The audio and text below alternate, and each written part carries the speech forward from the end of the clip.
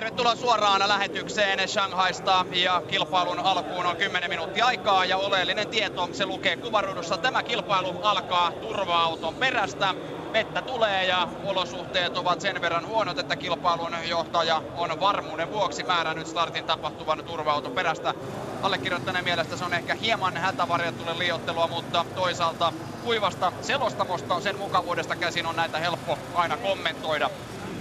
Pidemmittä puheitta käydään lyhyesti siellä lähtöruudukossa. Siellä on varikkotoimittajamme Timo Pulkkinen ja Timpalla haastattelu valmiina. Ja mulla on tässä Norbert Haug. So I guess the weather for you is not so bad than the, the other guys at the front. It's not what? Not bad for you, Why? the weather. I think you have a good strategy. I think uh, as soon as I'm concerned, everybody has the same weather. but uh, you know, anything can anything can happen in these circumstances, so we will see. What are you expecting uh, of the weather? Is it gonna change? Uh, I think it stays like that. So is it good or bad? Yeah, we'll see. Ask me after the race. Okay, thank you. Veikeällä tuulella oli Norbert Haug. Ei ollut mun paras kaveri tänään. Ilmeisesti ei. Ja sanoin vain, että kaikilla on sama sää ja mitä vain voi sattua. Ja ennakoi myöskin, että keli säilyy tällaisena, niin kuin ovat useammat muutkin ennusteet tässä sanoneet. Selostamossa tuttuu tyyliin kanssa, niin Jyrki Järvilehto Jykä, mitä olet mieltä tuosta, että kilpailu alkaa turva-autoperästä? No mä luulen, että se on tuomariston päätös ja ne on nähnyt. Tietysti tässä on koko ajan satanut, niin kuin sanottiin, että 15 minuuttia aikaa eteenpäin, niin katsotaan uudestaan missä on. Ja nyt tuli tietysti tuo ilmoitus, että lähdetään turva-auton takaa. Kyllä sitä vettä koko ajan sataa aika reilusti ja nähtiin tietysti noissa lämmittelykierroksilla tai tuonne lähtöpaikalla jo kierroksella jo, että olihan siellä aika paljon sitä vettä, että ainoastaan periaatteessa ajolinja oli vähän kuivempi ja paremman näköinen. Että kyllä siinä semmoisia riskejä tietysti on, että lähdössä lähdetään ohittamaan ja haetaan linjoja sieltä täältä, niin siellä voi äkkiä lipsua moni auto pois. Ja varsinkin just sen takia, että rengaspaineet ei ole sadekelirenkaissa ihan oikeassa paikassa vielä tuossa ensimmäisellä kierroksilla, että ehkä tällä lailla kuitenkin voi olla pientä apua siitä. Tietysti turva-auton takana ajaminen, niin ne on kuitenkin sen verran hitaita kierroksia, että ei se tule ainakaan renkaan paineita nostamaan kauheasti eikä renkaan lämpöjä, että ehkä päinvastoin.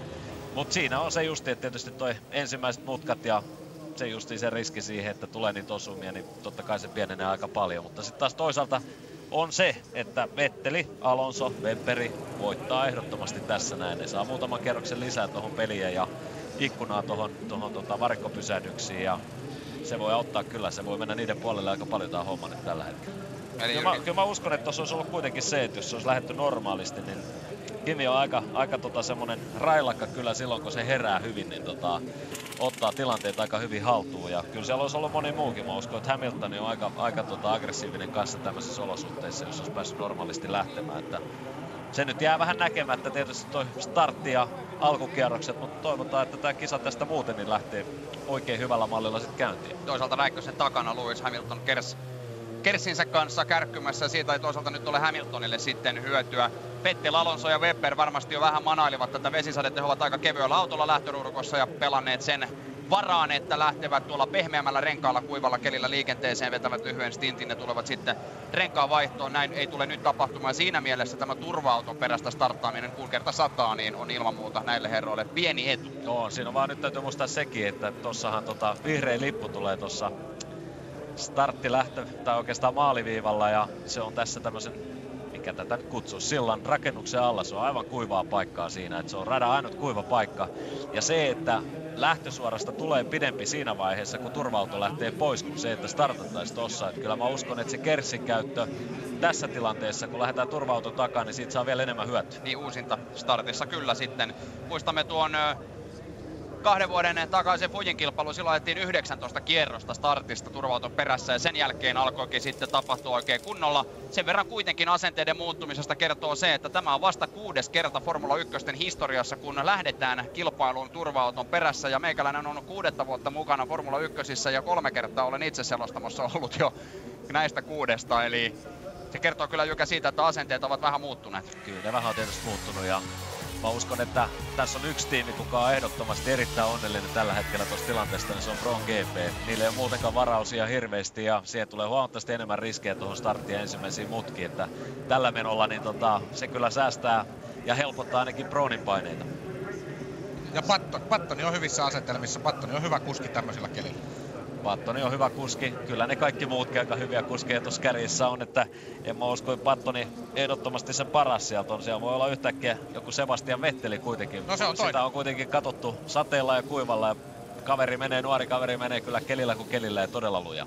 Edellisen kerran, kun lähdettiin Sebastian Vettelin kohtamasta lähtöruudukosta, eli kun Sebastian Vettel edellisen kerran oli paalu paikalla, silloin lähdettiin myös turva-auton takaa ja silloin Sebastian Vettel tuon kilpailun voitti. Eli näyttäisi vähän siltä, että kun Vettel on paalulla, silloin lähdetään turva-auton takaa ja silloinhan Heikki Kovalainen oli tuossa kilpailussa Monsassa kakkonen. Vettel, Alonso, Webber, Barikello, kaksi ensimmäistä riviä lähtöruudukossa, Batton ruudussa viisi, Trulli kuusi, Niko Roosberg seitsemännessä ruudussa. Kimi Räikkönen starttaa kahdeksannesta ruudusta tähän kilpailuun. Heikki Kovalainen puolestaan ruudusta 12. Hallitseva maailmanmestari Lewis Hamilton Räikkösen vieressä ruudussa 9. Kuten nämä kuvat kertovat, paitsi sataa, niin myös tuulee erittäin navakasti tällä hetkellä. Kyllä tulee todella kovaa jo ja se on vaan yllättävää, että se tuulen suuntakin tuossa noin vaihtelee välillä ja sitten tietysti, että se on koventunut aika paljon ja kyllähän tuota vettä koko ajan tulee, mutta se tulee aika tasaisesti, että se on se hyvä juttu tässä näin, ettei ettei oikeastaan niin kuin varmaan odotettavissa semmoista ihan uskomatonta vesisadetta, vaan jos tämä olosuhde pysyy aika samanlaisena, niin tämä tota, sanotaan, että se kisan kulku ja pelaaminen, niin se kuitenkin pysyy semmoisessa järjellisyyden rajoissa. Tämä on semmoinen kummallinen vesisade, että tulee niinku aika paljon vettä, nämä pisarat on hirveän isoja ja se tulee niinku vähän sillä harvakseltaan, vaikea selittää, mutta vähän semmoinen kummallinen vesisade. Niin kuin se täällä päin maapalloa välillä välillä vähän niin kuin on. Malesiassahan se yleensä alkaa nimenomaan sillä tavalla harvakseltaan isoilla pisaroina, mutta ei täällä ehkä ihan samanlaista vesisadetta toivon mukaan saada kuin mitä Malesiassa tuossa edellisessä osakilpailussa. Edellinen turva perästä ajettu startti oli nimenomaan tuo viime kauden Monsan kilpailu ja silloin ajettiin kaksi kierrosta turva perässä ennen kuin kilpailu alkoi oikein todenteolla ja Japanissa 2007 siis ajettiin peräti 19 kierrosta. Silloin olosuhteet olivat kuitenkin mielestäni merkittävästi heikommat tuon näkyvyyden ja muun suhteen. Silloin oli myöskin erittäin sumuista, mitä tällä hetkellä Shanghai radalla ei ole. Se tietysti ei tarkoita sitä, etteikö näkyvyys olisi huono, kun tuonne lähdetään. Siitä voi joka kertoa enemmän, kuinka paljon tuolla näkee sitten, kun ajaa esimerkiksi vaikka, vaikka viidenkin muun auton perässä tällaisella kelillä kyllä se menee vähän siihen kuulo-osastolle kanssa. Pitää kuunnella, mitä tapahtuu edessä. Pitää kuunnella viidakkoa, niin, niin, niin se on, että tota, kyllä se tietysti se näkyvyys on heikko ja siihen tulee paljon sitä vesisumua pyörimään joka puolelle. Mutta ei se, ei se, kyllähän nämä nyt kaikki kaverit on ajanut pienestä saakka kaikkia formulaluokkia vesisateissa ja kuivalla ja on tottunut näihin olosuhteisiin, että ei tämä nyt sillä lailla pahalta näytä ollenkaan. Tämä on normaali vesikeli mun mielestä. Sääntöjen mukaan kaikkien kuljettajien pitää lähteä tähän kilpailuun nyt sitten täydellä sadekelipyörällä, kun lähdetään turva-auton takaa. Tässä lähtöruudukko siis Vettel Alonso, kaikkien aikojen nuorimmat osakilpailuvoittajat siinä eturivissä. Batton, Trulli, Roosberg, Räikkönen sitten sijat 5-8 Kimillä olisi kohtuullisen hyvä lähtöpaikka tähän kilpailuun. On toki edelleenkin sadekelioloissa ilman muuta. Odotamme, että Kimi tässä kilpailussa pystyy hyvän suorituksen tekemään. Hallitseva maailmanmestari Lewis Hamilton siis lähtöruudussa 9. Nuori yllättäjä Sebastian Buemi siinä vierellään ja Heikki Kovalainen löytyy lähtöruudusta 12. Mä uskon, että siinä on yksi semmoinen kaveri, ketä kannattaa seurata paljon, toi Sebastian Buemi kanssa. Että on tehnyt todella hyvää työtä koko viikonlopun ajan ja kehitys on ollut huimaa ensimmäisestä Australian kisasta eteenpäin. Et koko, ajan, koko ajan on kaveri kehittynyt ja saanut autoa paremmaksi ja löytänyt omaa ajotyyliä täällä ja näyttää hyvältä. Tässä lähtönurkon loppuosa, mutta sellainen poikkeus, että Robert Kubica ja Timo Glock lähtevät varikolta tähän kilpailuun. Se tarkoittaa sitä, että he ovat myöskin pystyneet vaihtamaan tuota kisataktiikkaansa ja varmasti lähtevät niin täydellä tankilla tähän kisaan kuin mahdollista. Kuunnellaan Felipe Massaa. Just going to remind you now, which, which you know already, if someone speeds off in front of you and they go off the track, you can pass them, okay? If you spin and you go off the track equally, you cannot repass somebody who's passed you. Massa muistutettiin säännöistä, eli jos spinnaa ja muut autot menevät ohi, niin ei saa enää ottaa uudestaan tuota paikkaa, kun sitten turvautua perästä tähän kisaan lähdetään 10 sekunnin kuluttua. Siellä on kaikki valmista tähän starttiin, eli sinne lähdetään järjestyksessä. Vettel, Alonso, Weber, Barrichello, Batton, Trulli, Roosberg, Räikkönen ja vielä kerran Heikki Kovalainen ruudussa 12. Ja tästä lähdetään vähitellen varovaisesti liikenteeseen, näin on saatu liikkeelle tämän kauden kolmas Formula 1 MM-sarjan osakilpailu samalla kun saadaan MM-pisteet ruutuun. Jenson Button johtaa 15 pistettä, tallikaveri Rubens Barrichello pisteitä 10, Trullilla 8,5 pistettä, Timo Glock neljäntenä. Ja sitä luettelua saadaan lukea aika pitkälle ennen kuin sieltä suomalaisia Nimiä löytyy. Heikki Kovalainen on listalla tasa viimeisenä tällä hetkellä, eikä Kimi Räikköselläkään vielä ole pisteen pistettä, joten siinä mielessä joka tänään on ilman muuta suomalaisilla näytön paikka. Kyllähän se olisi mukavaa, että me suomalaisina saataisiin muutama piste tästä kisasta. Kyllä se olisi pikkuhiljaa aika avata tietysti tuo pistestili ja sitten täytyy kuitenkin muistaa se, että ei tuossa nyt kuitenkaan niin pitkä matka vielä kärkeä on. Pattoni ainoastaan 15 pistettä edellä Kimiä ja Heikkiä ja, ja tietysti tuo tilanne on mun mielestä ihan täysin vielä auki. Tämmöisiä kelejä kun on lisää ja muutama sadekelikisa, niin nämä on niin täynnä yllätyksiä kaikki, että tilanteet voi vaihtua hyvinkin paljon vielä. Kyllä, Pro Mercedes valmistajien MM-sarjan kärjessä. Ja jos joku ihmettelee, että ovatko nämä sitten vielä kilpailukierroksen, niin ilman muuta ovat. Eli kaikki turva perässä ajattavat kierrokset ovat luonnollisesti myöskin kisakierroksia. Ohittaminen on kiellettyä, paitsi jos joku pyörähtää ulos radalta, silloin saa myöskin luonnollisesti tuon kyseisen kuljettajan ohittaa ja sellaisella normaalilla etäisyydellä tulee kuljettajien toisistaan tämän turva-autoperiodin aikana pysyä ja me odottelemme luonnollisesti heti sitä tietoa, että koska tuo turva-auto radalta pois tulee ja otetaan.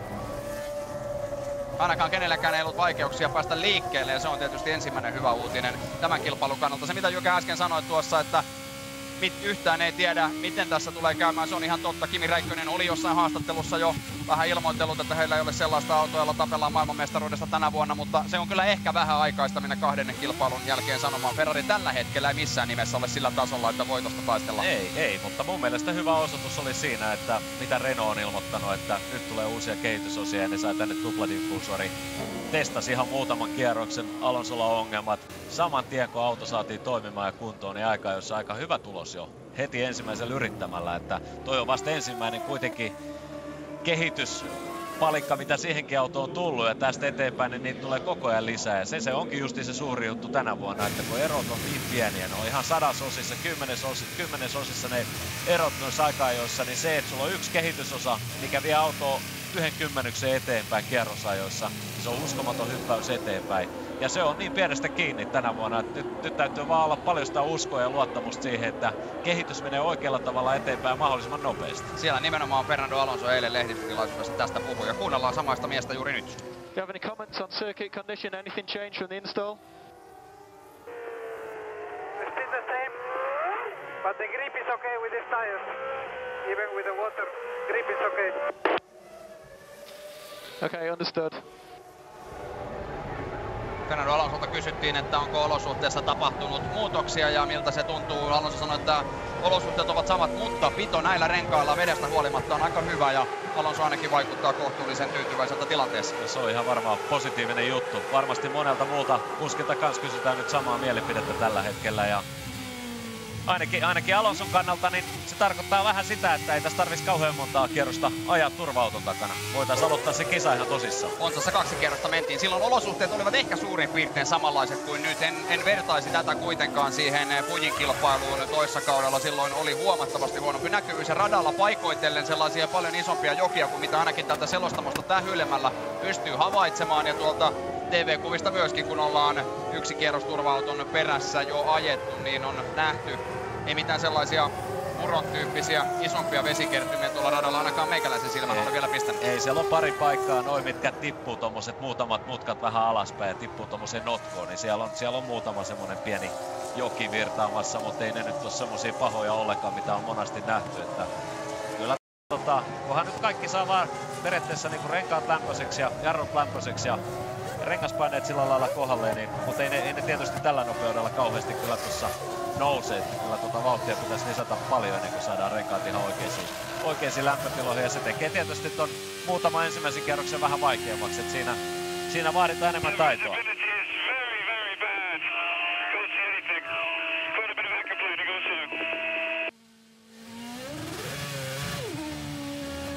näkyvyys todella todella huono, sanoi ilmeisesti Jenson Button, mikäli tuosta särinän keskeltä nyt oikein poimi. Kyllä se näin oli, että tietysti Buttoni on starttaa paikalta viisi, että kyllähän se on ihan normaaliakin, että siinä on tainnut Buttonikin vähän tottua liikaa tuohon eturiviin nyt. Niin, nopeasti siihen ilmeisesti tottuu. Kuitenkin siitä ei ihan hirveän kauan ole, kun vähän toisenlaisesta lähtöruudusta lähdettiin. Jenson Button puoli vuotta sitten samalla radalla oli 16 tässä kisassa kierroksen kärkeä perässä. Tällä, tänä vuonna hän on johtanut 81 prosenttia kaikista ajetuista kierroksista ja melkoinen muutos on luonnollisesti tuo Hondan ja Roonin välinen ero, jos verrataan noita suorituksia ja suorituskykyjä muihin. Ja nyt on sentään Heikkikin päässyt jo kisassa ihan niin kuin toiselle kierrokselle. Kyllä. Itse asiassa juurikin kohta lähtee kolmannelle, eli Heikki Kovalainen oli F1 MM-sarjan historian ensimmäinen kuljettaja ikinä, joka on aloittanut kauden kahdella ensimmäisen kierroksen keskeytyksellä. Sellaista vähän kyseenalaista historiaa, mutta ei kai siihen voi muuta sanoa kuin, että tekevälle sattuu. Näitähän tulee välillä ja on Heikki toisaalta ollut lähellä myöskin toisen tyyppisiä ennätyksiä, eli tulokaskaudella yhtä vaille kaikki kisat maaliin saakka ja niin edelleen ja keräsi silloin myöskin melko merkittävän määrän pisteitä, eli nyt sattui sitten vaan vähän ikävämmänlainen ennätys Heikki Kovalaisen piikkiin. Ja tässä Mark Webberin silmin tuota tilannetta ja ei se tietysti kehuttava tuo näkyvyys ole, mutta se on sadekelillä tämän tyyppistä Formula 1 auto. Näin se on ja ei ole ainakaan vielä nyt ilmoitettu mitään turva-autosta Aha. ja massalla menee vähän leveäksi. Hakee linjaa niin sanotusti, sieltä vähän näkee paremmin varmasti tuolta. Katsotaan mitä tässä tapahtuu. Oho, perä lähti jarrutuksessa vähän irti ja se on just se ongelma nyt, kun rengaspaineet on alhaalla ja renkaissa ei oikein kunnon lämpötiloja ja vähän kun se nappaa tuommoiseen vetisempään paikkaan ja painaa jarrua, se on muutenkin nämä jarrut on niin tarkat. Sebastian, how is the track? How is the track? There is water on the track, but it's okay, I would say. We had worse in the past. We had worse in the past to race.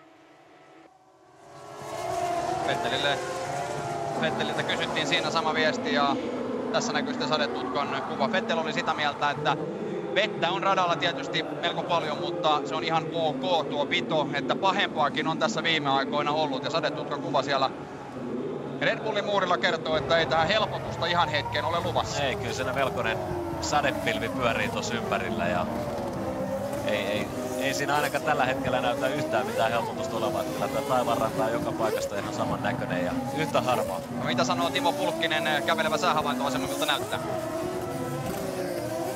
No, tää näyttää just siltä niin kuin sanoitte, että ei ole helpotusta luvassa. Että tästä on vähän vaikea sanoa, mutta semmonen tasaisen harmaa on kyllä toi taivas. Ja tietysti tuule, tuulee kyllä kovaa. Teidän tuulimittari ei varmaan näytä kuin 1,2 metriä sekunnissa. 1,8. Okei, okay, mutta tää kyllä oikeasti tulee varmaan 4, 4,5-5 metriä sekunnissa. Joo, sen havaitsee tuosta selostamon takanakin, kun katselee tuonne yleisöalueelle, niin siellä on todella, todella ravakka puuskittainen ja se varmasti myöskin häiritsee ajoa omalta osalta, kun Martin Whitmars, McLarenin tallipäällikkö, tutkii tilannetta parikko muurilla varsin rauhallisen oloisena, mikä ettei tässä nyt hirvittävän paljon tällä hetkellä tapahdu. Sellainen pieni kuriositeetti voidaan kai mainita, että Heikki Kovalaisella on nimissään toistaiseksi kilpailun nopein kierros. 2.41.021. Kuunnellaan massa. Breaks it down at 120 degrees. 120 degrees, so you need to keep warm and you need to keep pushing the brakes and get them warm so that when we do the restart they're ready. And the same with the tyres as well.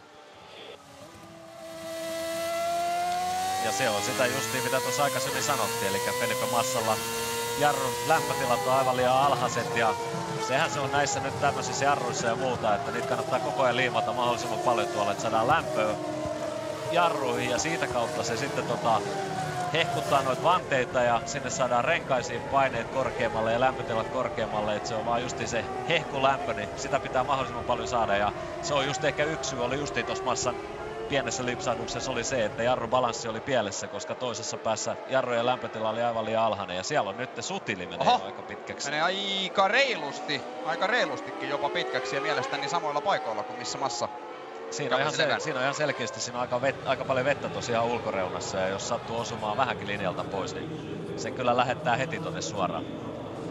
Nyt on menty jo kolme kierrosta turva perässä ja koko ajan odotellaan sitä hetkeä, kun tieto tulisi tuosta turva-auton radalta pois ottamisesta. Vielä sellaista ei kuitenkaan ole, joten mennään toistaiseksi turva perässä kilpailun alkuperäisessä järjestyksessä Sebastian Vettelin saksalaiskuljettajan johdolla kuunnellaan Niko Roosbergia. Have aquaplaning on the main straight.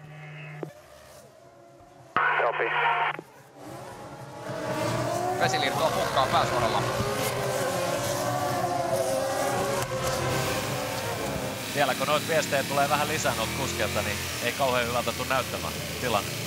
Ei ainakaan sen, sen suhteen, että turva-autoa radalta otettaisiin kovin pian pois. Kyllä se vähän erikoiselta tuntuu tästä, kun katselee. Se sade ei näytä niin kovalta, mitä se ilmeisestikin juuri tällä hetkellä on. Ja kyllähän nämä kuvat toisaalta kertovat sen, että radan pinta on oikein todella märkä, mutta ei niin, ei niin hirvittävä märkä, etteikö tällaisissa olosuhteissa olisi kilpaa ajettu. Kuten Sebastian Vettel sanoi, että pahempaakin on ollut kyllä.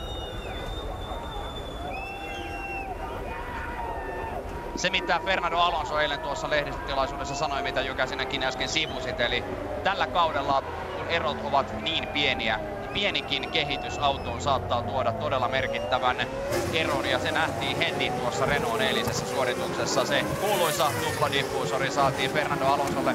Kolme kierrosta ehti Alonso ajaa aamuharjoituksessa. Ennen aika-ajoa, ja sitten se diffuusori tuohon autoon kiinni aika-ajoa varten, ja ero oli, se oli silmin nähden merkittävä, vaikka Alonso kohtuullisen kevyellä autolla olikin liikenteessä, mutta kakkosriviin ei olisi kevyellä autolla esimerkiksi Malesiassa ollut vielä mitään asiaa Fernando Alonso. Ei mitään asiaa joo, että kyllä se oli iso hyppäys eteenpäin autossa ja kyllähän se näki siinä, että kuinka paljon paremmin autossa oli sitä pitoa joka paikassa ja se pystyy tuottamaan paljon tasaisemmin sitä pitoa, että se oli myös niin kuin, jos verrattiin esimerkiksi Nikon autoa Ferrariin. Semmoisissa paikoissa, missä oli paljon pomppuja ja muuta, niin kyllä se vaan se diffuseri ja se maa-efekti mikä on, niin siinä on aika valtava ero siinä vaiheessa. Että kyllä se auto vaan menee pompusta ihan eri lailla sitten yli ja pysyy paljon paremmin tiellä. Sutil tulee sisään.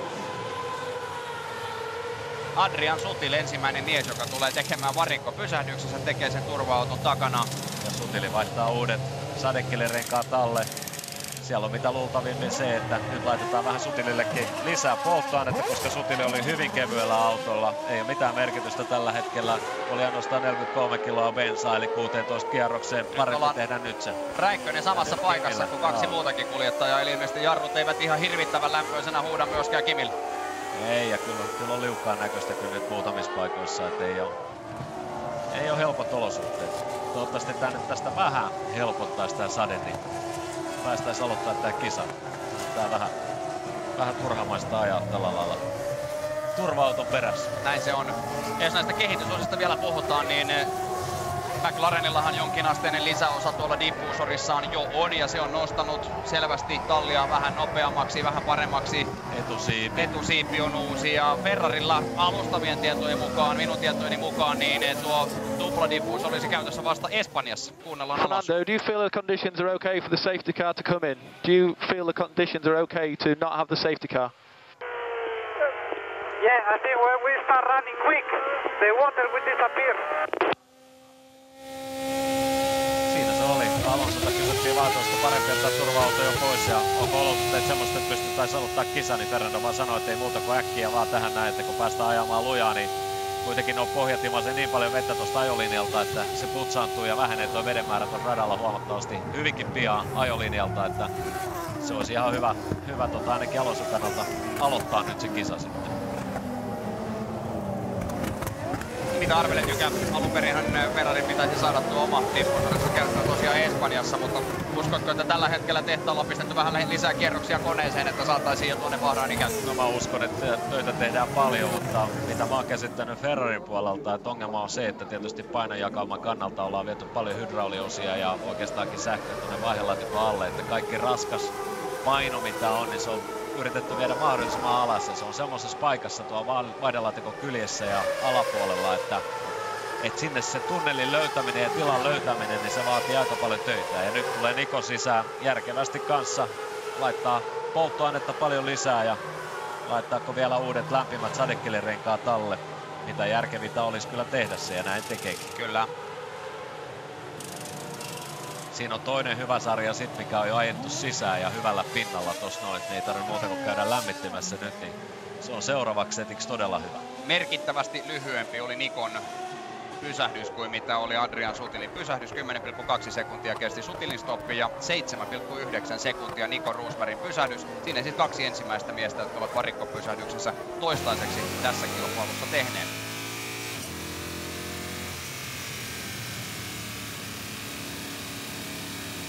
Tältä näyttää sitten turvauton sisällä rauhallisen näköistä menoa, kun tästä katselee tuonne päin, mutta voi vakuuttaa kyllä, että noissa oloissa tuo auto ajaa jo ihan riittävän kovaa kyytiä. Siellä saa olla ammattimies puikoissa ja kilpailutuomaristo miettii parhaalla, että vieläkö jatketaan. Kyllä siinä Bert Mailereri joutuu tekemään ihan töitä tosissaan kanssa, että eihän tuommoinen turva-auto tuossa edessä, niin se on aika raskas kuitenkin ja ei ole ihan semmoisia sadekelirenkaita ja urarenkaita, niin siinä joutuu vähän kuitenkin tsemppaamaan. Kyllä siinä ihan tehdään täyttä työtä koko ajan. Siinä oli Charlie Whitingia ja muuta oli nyt tuomaristo istui ja miettii, että mitä tässä oikein tulee tapahtumaan. Päätä siellä pyöriteltiin, kuunnellaan Hamilton. Yes, Lewis, it's still raining. Very much the same as when we're on the grid. Just continuous rain. Radar indicates that this will continue for at least the next 30 minutes. Ja siinä Hamiltonille kerrottiin, että olosuhteet sateen osalta ovat samanlaiset kuin lähtöruudukossa ollessa ja sadetutkan mukaan seuraavat puoli tuntia ainakin jatkuu samanlaisissa olosuhteissa. Tämä kilpailu toivottavasti se ei tarkoita sitä, että seuraavat puoli tuntia ajetaan vielä turva-auton perässä. Viisi kerrosta on nyt menty ja 17 minuuttia noin pyöreästi on kestänyt tämä kilpailu toistaiseksi. Yleisön reaktiosta päätellen voisi pikkuhiljaa turva-autoja poistuvakin radalta. Joo, kyllä siellä vähän nyt puoillaan ja odotetaan, että kisa pääsisi alkamaan kunnolla. En ole ainakaan jyrkästi eri mieltä itse. Ei, kyllä tässä niinku, toivottavasti pian nyt tehtäisiin jonkinmoinen päätös tähän touhuun, koska... Lavio siellä miettii varmasti ihan samoja asioita, että tässä ajellaan nyt sitten jonossa, kunnes tuomaristo toisin päättää. Eipä olisi eilen tullut mieleen, mutta eipä näköjään noista polttoainemääristä, niin ei tullut monelle kuljettajalle tiimillekään mieleen, että tänään olosuhteet olisivat ihan tällaiset. Ei, yllättävää kyllä. Täytyy sanoa, että tietysti Niko, mun mielestä Niko teki aika fiksun liikkeen tossa, että tuli sisään tässä vaiheessa.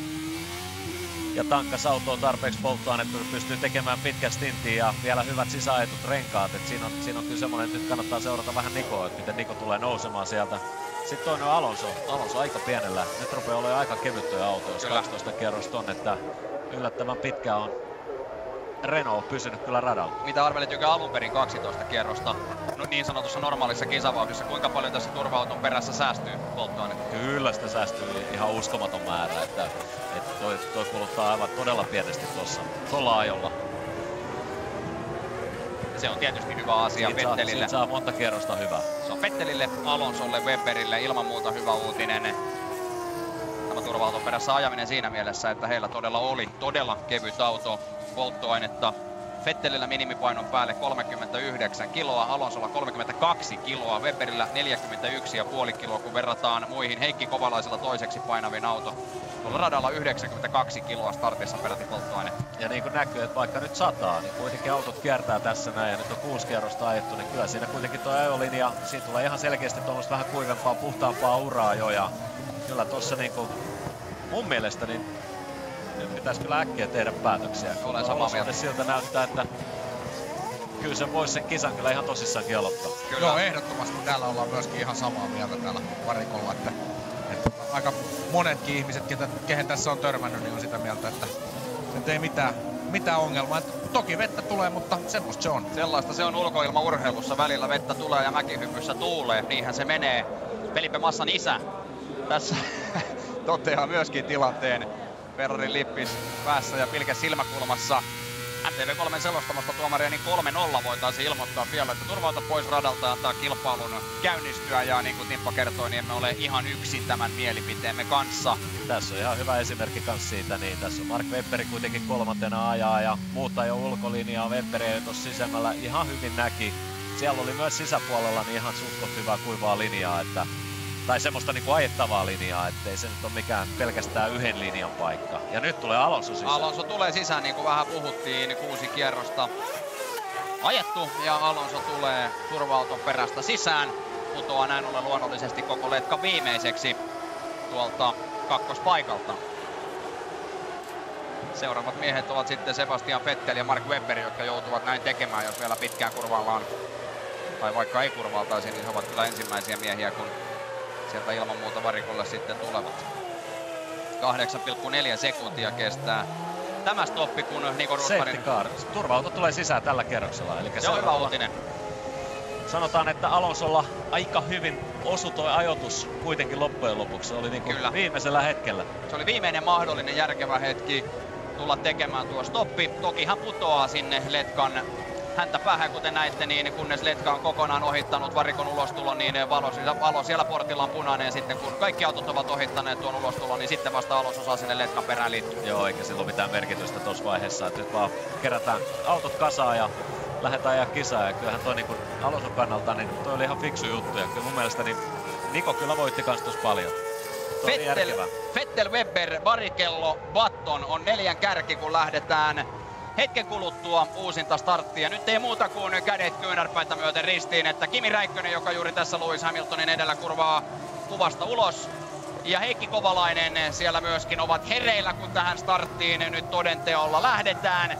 Ilman muuta meidän pojillemme toivotaan hyvää kisaa. Heikillä on niin painava auto, että painaa reilusti yli puolen välin kilpailussa, jos vain kaikki muu menee niin kuin suunnitelmissa on. Ja tässä on sen verran pitkään ajettu seitsemän kierrosta turvauton perässä, että myöskin Kimi Räikkönen periaatteessa pystyy ajamaan lähestulkoon, Kimi. lähestulkoon tuonne puoleen väliin, eli ei välttämättä tarvitse tulla kuin kerran varikoon. Ei, ei ehdottomasti Kimi pysty ajamaan, jos niin tässä lasketaan näitä bensamääriä, niin kyllä mä uskon, että se on niin ja näin, nippa nappa, mutta kyllä yhdellä pysähdyksellä pitäisi onnistua. Eli se on, se on hyvä uutinen tietysti, jos ajatellaan, ajatellaan tämän kilpailun kehittymistä. Kohtaa kuitenkin se hetki, kun turva-auto tulee pois sotkemasta tätä kilpailua.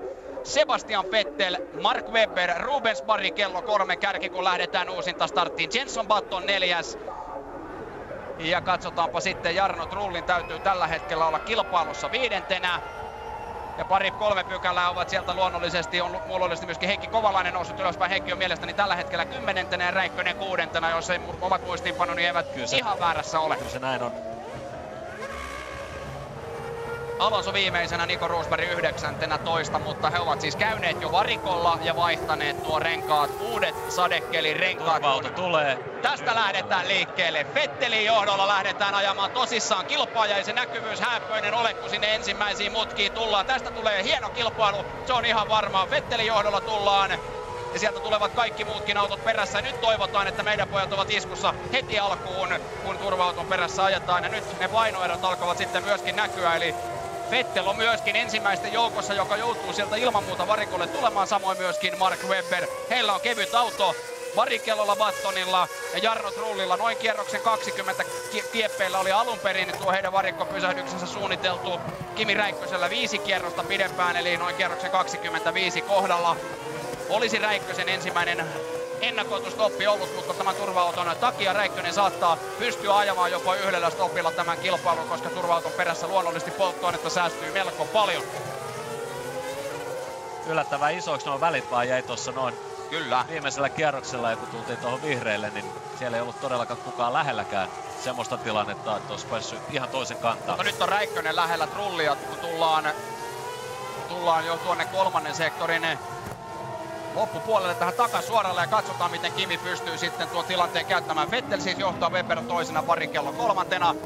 Ja tässä Siinä painaa menee sitten Hamilton- Siinä menee Hamilton, Hamiltonin Kimistä. ohi. Hamilton Kimistä ohi nimenomaan ja se oli tietysti jossain kohtaa tuo odot, odottelimme, että näin käy jo startissa, mutta näin menee Hamilton ja nyt lähteekö Kimi, Kimi haastaa, sinne sisälle. on hyvä linja sisällä, saa nähdä, että riittääkö vaan paikka tuolla noin. Nyt ollaan takasuoralla, mikä Kerssi on todella puhuu. pitkä.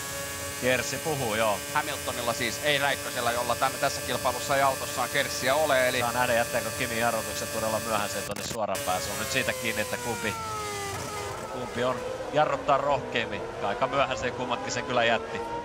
Hamiltonhan on kyllä tunnettu siitä, että on aika rohkea mies näihin jarrutuksiin tulemaan ja tyylikkäästi tuli Räikkösen ohi sieltä. Ei siinä ole mitään, ei kahta sanaa. Hamiltonilla on vielä pari kiloa painavampi auto kuin Räikkösellä.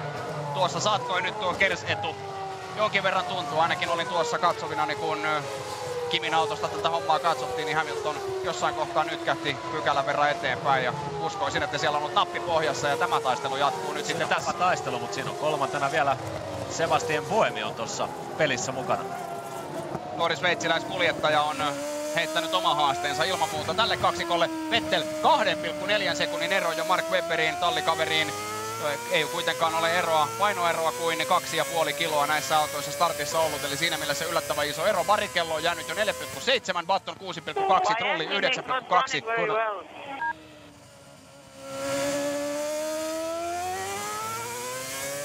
Moottori ei ilmeisesti toimi Joo, kivillä vähän kunnolla. Kivi sanoo, että siinä vähän on jotain ongelmia. Toivottavasti nyt ei suurempi. Onpas yllättävää. Näin Kimi mielestäni sanoi. My engine is not running very well, eli moottori ei toimi kunnolla ja ongelmissa on Räikkönen sitten heti turva-auto poistuttua radalta ja se kyllä kieltämättä näkyy näissä kuvissa. Siinä on Puomi jo nyt sitten on- ihan kiinni. Nyt on kyllä Kimillä isompia ongelmia koko ajan näköjään. Kasvanut ongelmat. Puemi on todella haastaa Kimin nyt.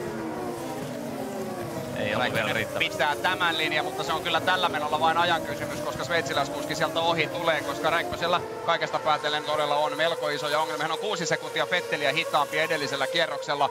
2.037 on Kimin aika ja ainoastaan Katsuki Nakajima ajaa hitaamman ajan. Kimi on toiseksi hitaan mies radalla tällä hetkellä. Se kieli kyllä isoista ongelmista. No on, ja toinen on tietysti se täytyy muistaa, että Vetteli on hyvin kevyellä polttoainemäärällä tällä hetkellä verrattuna Kimiin. Ja nyt tulee Buemio sitten Ei riitä. uudestaan. Ei se nyt niin huono tuo Kimin moottori vielä ole. Että... Jos se olisi oikein huono, niin kyllä olisi No olisi mennyt jo. Kyllä se ainakin, päässä ihan heittämällä mennyt ohi. kyllä senkin vielä toimii. Toivotaan, että alkaa ja toimia paremmin. menee Buemilla pitkä. Aha, eikä ihan vähän, vaan aika reilustikin ja näin on Räikkönen saa siitä pienen edun puolelleen. Muistetaan, että Kimillä oli jo eilen aikaa jossa ongelmia moottorin kanssa. Se vähän yski siinä puolen kierroksen verran ja alkoi puolesta välistä toimimaan. Toivottavasti nyt ei tarvitse puolen välin kisaa kuitenkaan odotella, nyt kun se moottori alkaa tikkaamaan jälleen kunnolla. Vettel, Weber, Barrichello siis edelleen kilpailu kärki kun Nakajima. Ei, se on Kubica. Anteeksi, Heidfeld. Vielä kolmannellahan se osui oikein. Nick Heidfeld liukuu leveäksi. Liukuu leveäksi siellä radalla ja on näin ollen pienissä pienissä vaikeuksissa. Nyt lähtee Hamilton yrittämään rullista ohi eikä yritä vaan menee. Pystyykö pitämään paikkansa? Aika hyvin pystyy Hamilton tuon klaaraamaan todella myöhäiseen vaiheeseen jätti jarrutukseen tuli rohkeasti sisälle ja ohi. Näin ollen Lewis Hamilton on noussut kilpailussa viidenneksi mies, joka sanoi eilen, että ei odota tältä päivältä kovin paljon, niin nyt näyttäisi kuitenkin menevän ihan mainiosti. Ja niin kuin näkyy, millaisia linjoja Hamiltoni tuossa koko ajan hakee. Et Aivan erilaisia kuin moni muu tuossa sanoi, että hyviä tuommoisia pyöreitä ulkolinjoja, missä on paljon pitoa selkeästi ja pystyy siellä sitten hyödyntämään noita ohituspaikkoja paljon paremmin. Pystyy tulemaan mutkista ulos ihan eri lailla ja saa justiin semmosia etsittyä semmosia ohituspaikkoja silloin kun niitä tarvitaan. Kierrosajat paranevat ja nyt ihan sekunti per kierros, mutta melkein. Vettel ajaa jo 1.55.7. Tuolla kärjessä on venyttänyt eron Weberin 3,4 sekuntiin. Barrichello kolmantena on jäänyt jo 7,2 sekunnin päähän. Räikkönen seitsemäntenä 17,3 sekuntia. Kovalainen 11 21,4 sekuntia kärjestä. Vettelillä on varmaan nyt on 10 kierrosta kisaa ajettu ja tietysti kuusi kierrosta siitä on ollut turva-auto takana, että se voi olla, että Vetteli tulee sisään noin kierroksella 15-16 jossain siinä. Kyllä. Batton ja Barrichello kiistämättä ovat aika hyvissä asemissa. Weber kisan nopein kierros toistaiseksi 55.318. Batton jää siitä tasan kaksi sekuntia lisää, vaikka ajaa oma parhaansa. Eli kyllä se kieli siitä, että nyt on todella kevyt auto Vettelillä ja myöskin Weberillä. Jarno On se, oli mutta- kuusi sekuntia hitaampi edellisellä kierroksella kuin Vettel. Ja Barrichellolla todella hidas kierros. Barrichello meni aika paljon leveäksi jossain paikassa, kun 204 on ollut kierrosaika. No Räikkönen pääsee nyt kuitenkin alle kahden, eli ilmeisesti vähitellen alkaa Kiminkin moottori tikkaamaan. Ei ole missään nimessä nopein mies radalla, ei lähelläkään, mutta kuitenkin vähitellen näyttäisi paremmalta. Buemi oli edellisen kierroksen lopussa vain puolen sekunnin päässä Räikköstä, kun tässä Vettelin ja Weberin välistä kierrosaikavertailua ja aika hyvän, hyvän kyydin on siellä Vettel kärjessä löytänyt. Nyt on Räikkönen itse asiassa edelleenkin Puomi, Puomi kärkkyy vain puolen sekunnin päässä Kimistä ja ajaa selkeästi paremman kierrosajan tuosta pienestä lipsahdusta huolimatta. Lähes sekunnin nopeampi on Buemi, jolla on saman painoinen auto kuin Räikkösellä. Ja myös massa ja todella hyvä. Et Rullihan jo hitaan kierroksen tuossa äsken. Siinä on tietysti osasyynä se Hamiltonin ohitus, mutta Batton on myös ohittanut Barrichello. Battoni meni jo aikaisemmin ohi. Sen takia just kun Kyllä. Barrichelon kierrosaika oli noin kahdeksan sekuntia hitaampi kuin Battonille, että jossain on mennyt vähän leveäksi. Siellä mennään nyt uudestaan. Olisiko Kumpi Buemi oli? mennyt ohi jo Oliko? Hamiltoni, menikö Hamiltoni leveäksi tuolla? Ja nyt tulee massa ja ohittaa tallikaverinsa, eli Räikkösen ongelmat jatkuvat. Siinä on Buemi menee ohi ja nyt tulee myöskin Felipe Massa Räikkösestä ohi ja Hamilton on siinä ja Heikki. Kovalainen Heikki edellä Heikki edellä. Hamiltonista. Siellä on Hamiltonille Hamiltoni meni pitkäksi tuossa yhdessä paikassa ja joutui vähän nostamaan. taistelu jatkuu ja se jatkuu hyvin mielenkiintoisena. Vettelin aika raju ero Battoniin, se on 10,2 sekuntia. Webber pysyy luonnollisesti tallikaverinsa kyydissä 2,8 sekuntia vain Red Bull-kuskien välillä tuota eroa, mutta kolmantena oleva Battonin 11,1 sekuntia. Battoni pikkuhiljaa, Battoni pikkuhiljaa alkaa kyllä parantamaan tota vauhtia. Et nyt on enää sekuntieroa kärjen vauhtiin. Tässä tuo Hamiltonin tilanne sitten uudestaan, se on ihan reilu spin. Mutta aika kivassa paikassa. Ja kerran vaan ympäri. Kyllä sekin on niin tuuria, että tosta ei pahempaa tule. läheltä mennään. Läheltä mennään, mutta jos se olisi toisen kerran vielä lähtenyt pyörättää tosta, niin sit se olisi ollutkin, se olisi ollutkin paljon hitaampi toi. Se oli tuossa kymppimutkan ulostulossa suunnilleen tuo Hamiltonin eh, spinnipaikka. Näin väittäisin kyllä. Tämä vahvistaa myöskin tulosmonitoria. Tässä näkyy tilanne Räikkönen kahdeksantena 27 sekuntia kärjestä ja se on karua kyytiä. Mites mä Oskari, vähän puhuttiin sitten Sebastian Boemista, että se on aika Kyllä. kova kaveri ajamaan ja ihan selkeästi on sitä, kuudes tällä hetkellä. Se pitää kutinsa, se pitää kutinsa ja siinä on nyt sitten, Meni jo trulli ohi. kyllä, näin on muuten. Se on ihan totta. Nousee viidenneksi tässä kilpailussa Sebastian Buemi. Katsotaanpa, samanpainoinen auto kuin Kimi Räikkösellä on Buemilla vielä allaan, eli Ja menee. saattaa olla yllättävän korkealla tänään. Ja menee aivan karkuun tällä hetkellä. Trulli on hidas kyllä tietysti tossa noin, että massa kyllä pitäisi kanssa kohta kuittaa trulli. Ei mene montaa mutkaa. Trulli on hidas. Trullilla ei kuitenkaan kovin painava auto ole. Sen näkee kierrosajoistakin. Noin kaksi sekuntia hitaampi. Massalla on 9 kiloa painavampi auto, eli Trullilla on myöskin jotain ongelmia joko auton säädöissä tai sitten on ihan teknisiä ongelmia, en tiedä, mutta sen näkee selvästi näistä kuvista, että massa menisi kovempaa, jos ohi vain suinkin pääsisi. Ja Räikkönen on siinä massan perässä jäänyt jo sekunnin verran, eli Kimillä ei ole kyllä mikään kovin kaksinen ollut tämä kilpailu alku. Ei missään nimessä. Ei ole toinen. Tuossa täytyy tietysti ottaa huomioon ja katsoa tuolta takaa. Timo Klokkia lähti varikolta. Ihan viimeisenä on noussut kolmannelle to- toista paikalle. Ajanut Kubitsa ohi, Kubitsa 18. Tässä sitten Nelson siinä Piquet vähän ja Nelson Giancarlo Fisichella. Joo, siinä vähän otti etu- ja takarengas yhteen ja Fisichella 15, Piquet 16 tällä hetkellä. Ja sitten pyörähdellään. siinä oli Timo Klokki ja. Heidfeldi. Puhutaan sijoista 12 ja 13 ja Heidfeld jää kyllä nyt sitten, jos ei ihan viimeiseksi, niin melkein nyt on massalla paikka lähtee sinne sisäpuolelle, mutta Tulli yrittää pitää tuo linja pystyy kyllä pitämään sen ihan nätisti. Massa joutuu, joutuu luovuttamaan uudestaan. Räikkönen pystyy nyt kyllä seuraamaan tallikaveriaan, ottaa itse asiassa 0,2 sekuntia pois tuosta erosta ja pysyy hyvin tuossa trullijunassa kyydissä.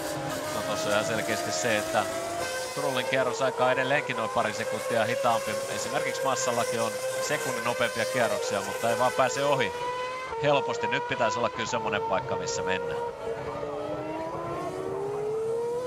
Ja mennäänkin.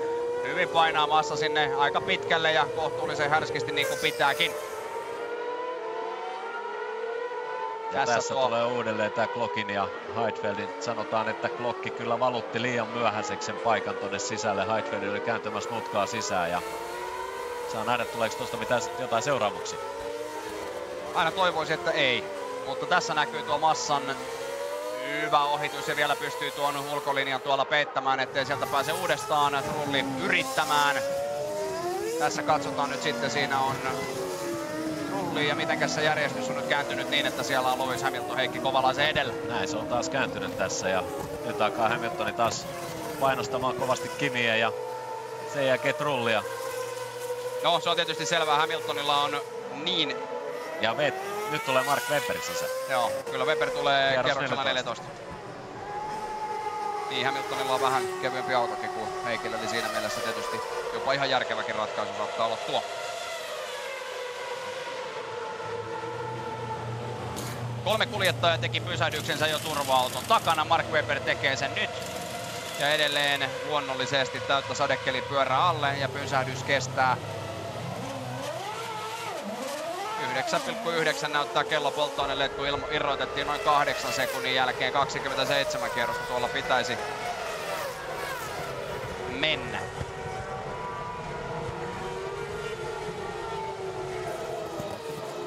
Ja kuudenneksi radalle Weber palaili niin isoksi olivat nuo erot jo kasvaneet. Räikkönen kahdeksantena on 36,7 sekunnin päässä kärjestä ja Lewis Hamilton ahdistelee Kimiä oikein tosissaan tällä hetkellä siinä takana ja siinä on kohtuullinen tulppa tällä hetkellä ja Trulli, Trulli tuota letkaa vähän jo tuttuu tyyliin johtaa ja Hamilton lähtee kokeilemaan, mutta niinpä lähtee Kimikin trullista ohi, eli nyt on hyvä taistelu radalla. Ei riitä kyllä sieltä. Mut hyvää paikkaa kyllä Mark Webberin pääsi tosta noin tosta ryhmästä kuitenkin edelleen. Ja Nyt menee Kimi ohi. Nyt menee Kimi trullista. Se oli hieno ohitus ensin toiselta puolelta ja sitten sisään ja sieltä ohi ja nyt niin tulee katsotaan. Hamiltonikin. tulee sitten ihan saman tien sieltä ja todella rohkeasti sinne sisään niin kuin kuva kertoo. Ja niin kuin näkyy, niin kuin tuossa puhuttiin aikaisemmin jo Hamiltonin linjoista, niin Hamilton on todella hienoja linjoja muutamissa paikoissa ja etsii noita ohituspaikkoja ja pitopaikkoja ihan eri paikasta kuin moni muu näistä kuskeista ja pystyy hyödyntämään niitä siinä vaiheessa sitten. Toi oli yksi hyvä esimerkki kyllä siitä, että kun on mielikuvitus kohdallaan, niin Kyllä, homma toimii. kyllä. Se on johtanut muutamiin viime kausilla puhuttaneisiinkin tilanteisiin, mutta niin se pitääkin tietysti Ja olla, kun nyt tulee sisään. Vettel kilpailu kärjestä sisään. 15 kierrosta ajoi Vettel. Ja nyt katsotaan kuinka sitten Vettelin varikkopysähdys osuu kohdille. Hyvä oli kuitenkin ero Battoniin noin 9,1 sekunnin marginaali. Ja Vetteli pystyi koko ajan ja todella nopeita kierroksia, että 8,7 sekuntia. Tuo stoppi eli vähän lyhyempi kuin Mark Webberin pysähdys. varmaan 23 kierrosta. Kyllä, sen verran eli kierroksella 28. Suurin piirtein sitten uudestaan sisään. Kolme, 38. Näin juuri. Hyvä, että jollain on laski mukana. Alkaa vaan kuvitella, että joka päässä laski. Kun tässä sitten eh, Lewis Hamilton ohittaa Kimi Räikkösen ja nousee kilpailussa seitsemänneksi. Se oli lähinnä ajan kysymys, koska näin tapahtuu. Sen verran parempaa on Hamiltonin meno tässä kilpailussa ollut ja se on tyylikäs oppikirjamainen ohitus, eikä siinä Kimillä ole kahta sanaa. Tämä oli odotettavissa, että näin tässä tilanteessa jossain kohtaa käy. Hamilton nousee seitsemänneksi, Kimi on tällä hetkellä kahdeksanta. Nyt toivotaan, että Heikki pääsee trullista ohi, nimittäin aivan siinä kiinni. Hamilton on ohittanut Räikkösen tänään siis jo kahdesti ensimmäisen 15 kierroksen aikana. Tää nyt huonolta näytä tietysti meiltä suomalainen. Ainut on toi justiin Kimi, mutta Kimi ei kyllä radiolla yhtään ilmoittanut lisää, että kuinka iso se ongelma on ja missä mennään. Kierrosaikojen perusteella ei voi oikein vielä tällä hetkellä sanoa mitään muuta kuin, että mitä luultavimmin Kimi auto on semmonen puolitoista kaksi sekkaa hitaampi kuin massa tällä hetkellä. Niin, ja jos, jos Kimi on, jos Kimi on yhden stopin taktiikalla, niin kuin periaatteessa voi olla mahdollista, niin siinä tilanteessa tietysti tämä homma vähän muuttuu, mutta se on vähän siinä ja siinä, että pystyykö Kimi viemään tämän yhdellä stopilla tämän kisan loppuun. No se on aina, ainakin varmaan, että massa pystyy viemään. Massalla on sen verran enemmän kuitenkin Ja massa on tässä juuri kuvissa, kuunnellaan massa.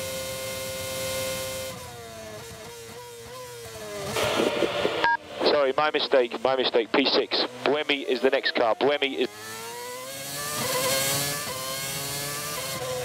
No siinä ei nyt ollut paljon järkeä tuossa informaatiossa, eli Massalle lähinnä ilmoitettiin, että olet kuudentena ja Buemi on siinä edessä. Tämä tuli tietysti Ja nyt menee Heikki Trullista ohi. pysähdys. Tähän osuu trulliin, Vähän Heikki pääsee kuitenkin ohi siitä. Niin sieltä saa Sebastian Bourdeckin edun ja pääsikö Trullin Pääsee ohi trullin ohi. Pääsi. Pääsee. Pääsee. Siinä tuli pieni kontakti ja nyt siinä ovat sitten Toyotat peräkkäin järjestyksessä. Trulli ja Glock. Trulli on kyllä ollut todella hukassa kanssa tässä kisan aikana, että ei oikein vauhti riittänyt mihinkään. Kyllä. Näin nousee Kovalainen sitten. Nousee yhdeksänneksi. Tulosmonitorin mukaan Räikkönen on jälleen Hamiltonin edellä, eli näinköhän tuohon olisi syytä uskoa.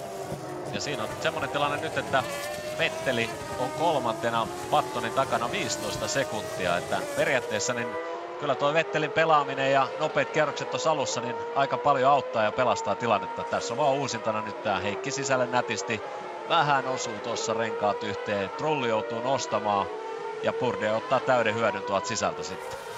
Näin näyttäisi, että Räikkönen on ohittanut Hamiltonin uudestaan, kun tässä sitten Katsuki Nagashima vähän omilla seikkailuretkillään ajolinjan ulkopuolella. Räikkönen monitorin mukaan on tällä hetkellä seitsemäntenä, Hamilton kahdeksantena, Kovalainen yhdeksäntenä. Odotellaan hetken aikaa, kun sieltä vesisumun keskeltä saataisiin joku näköhavainto myös miehistä. Ja tässä vielä katsellaan sitten, kun Glock tulee tallikaveristaan ohi, eli kyllä siellä on Trullilla isoja ongelmia. Aika voisin sanoa noin tallikavereiden väliseksi vähän jopa härski ohitus. No joo, tietysti tuossa noin blokkikin ottaa täyden hyödyn niin nopeasti kuin mahdollista siitä, että eihän siinä mitään muuta voi sanoa. Jenson Button kuitenkin kilpailun kärjessä, kun 17 kierrosta on ajettu. Ja Rubens kyllä siellä, kakkosena. kyllä siellä Kimi on Hamiltonin edessä. Kyllä, eli näin on Räikkönen ohittanut uudestaan hallitsevan maailmanmestarin. Batton kärjessä 12,9 sekuntia tallikaveri Rubens Barrichelloon, 15,8 sekuntia Sebastian Vettelin, joka on kolmantena, Sebastian Buemi tällä hetkellä neljäntenä, Massa viidentenä, Mark Webber kuudentena, Kimi Räikkönen on seitsemäntenä ja Lewis Hamilton kahdeksantena. Siinä miehet, jotka ovat pistesijoissa kiinni. Heikki Kovalainen on yhdeksäntenä, mutta Heikillä ainakin on polttoainetta siihen, että pystyy tekemään tänään yhden stopin taktiikan, jos vain kaikki muu osuu kohdalle. Oo, tietysti Heikki on jo 35,8 sekuntia kärjen takana. Että Se vähän auttaa siinä. Kyllä se silti auttaa, mutta Ei se voittoon asti riitä tietenkään, mutta tietysti kilpailussa voi sattua ihan mitä tahansa, kun nyt sitten tulee ja siellä on todellakin Vetteli. Robert Kubica ilman etusiipeä varikolle. Ja niin on myös Trulli. Trullilta puolestaan puuttuu takasiipi, eli keskimäärin pojilla olisi oikein hyvin asiat. Mutta nyt on kyllä molempien kisa aika pitkälti pilalla. Kubica joutuu tulemaan sisään ja Trulli niin ikään ontumaan tämän. Varmasti saamme kohta tämän tilanteen uudestaan. Aika rajusti on täytynyt osua Kubican. Niin se on joku jarrutus, jarrutus mennyt todella pitkäksi ja oikein kunnolla osunut siihen. Kyllä tuo keula on niin rikki, että siinä ei ole mitään siipiä jäljellä ja Trullin peli on ihan täysin ohi. Tästä ei, tästä ei autoa enää tähän kisaan tehdä. Se hyvä saada hidastus ja se varmasti tulee juuri nyt. No siinä ei ole Trullilla ainakaan paljon tekemistä enää tuossa tilanteessa. Osuu vain ja menee tuossa radan viimeisessä mutkassa sitten pitkäksi ja Siinä Ei se ole nähdään, aika raju on tuo osuma. Aika raju on tuo osuma. Kumitsa yrittää kiivetä siellä trullin selkää ja se on rajun näköinen paikka. Nykyiset Formula 1 autot ovat kuitenkin niin turvallisia, että mitään ei käy. Rajulta se silti näyttää ja romua on siellä nyt viimeisessä mutkassa myöskin kohtuullisen paljon tuota terävää ja aika rajun näköinen. Siinä on Kuvitsalla. Kuvitsalla kävi taas pieni tuuri kyllä. Siinä ei olisi paljon tarvinnut enempää kiivetä tonne päälle, niin se olisi lähtenyt ihan väärinpäin pyörimään tuo auto. Siitäkin Kuvitsalla toki on kokemusta. Ja tilanne kärjessä.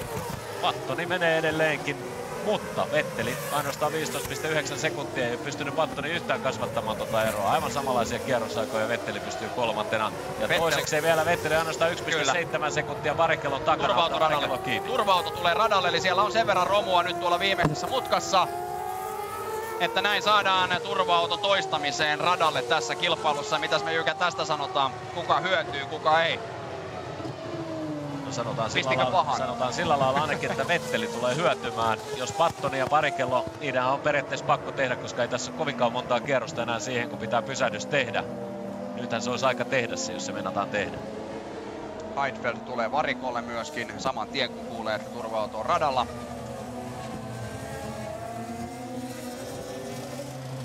Sattuu ja tapahtuu ainakin jälleen tämän päivän kilpailussa, se on ainakin taattu. Johan siinä muutama kierros mentiin ilman turva-autoa, 10,3 sekuntia ja se laitettiin viimeinen pysähdys tässä kilpailussa suunnitelmien mukaisesti ainakin Heidfeldille, näin uskoisin. Jenson Button saa ajaa ylhäisessä yksinäisyydessä MM-sarjan kärkimies tällä hetkellä 14,1 sekunnin ero Barrichelloon, mutta toki nuo erot nyt kuivuvat kasaan. Turva-auto radalle tulee. Siinä kestää vielä aikaa ennen kuin turva-auto löytää oikean välin tuolta radalta ja se kestää tietysti hetken aikaa. Letka joka tapauksessa kerätään kasaan ja onhan se Kiminkin kannalta ja Heikki Kovalaisen kannalta ilman muuta hyvä asia, koska ero kärkeen oli 31 Kimillä ja Kovalaisella 36,4 sekuntia. Ei ole kauan. Ei ole kauaa ja Heikki Batton tässä tulee kyllä hyötyy. Ja Battoni, niin kuin oli odotettuakin. Tässä vaiheessa on hyödynnettävä tämä turva-auto, jos sitä meinaa yleensä hyödyntää. Näin se on ja katsotaan alkaako siellä sitten muuten. Mutta Buemin auto näyttää siltä, että se ei myöskään ole ihan terveessä kunnossa. Vatton tulee tekemään pysähdyksensä nyt.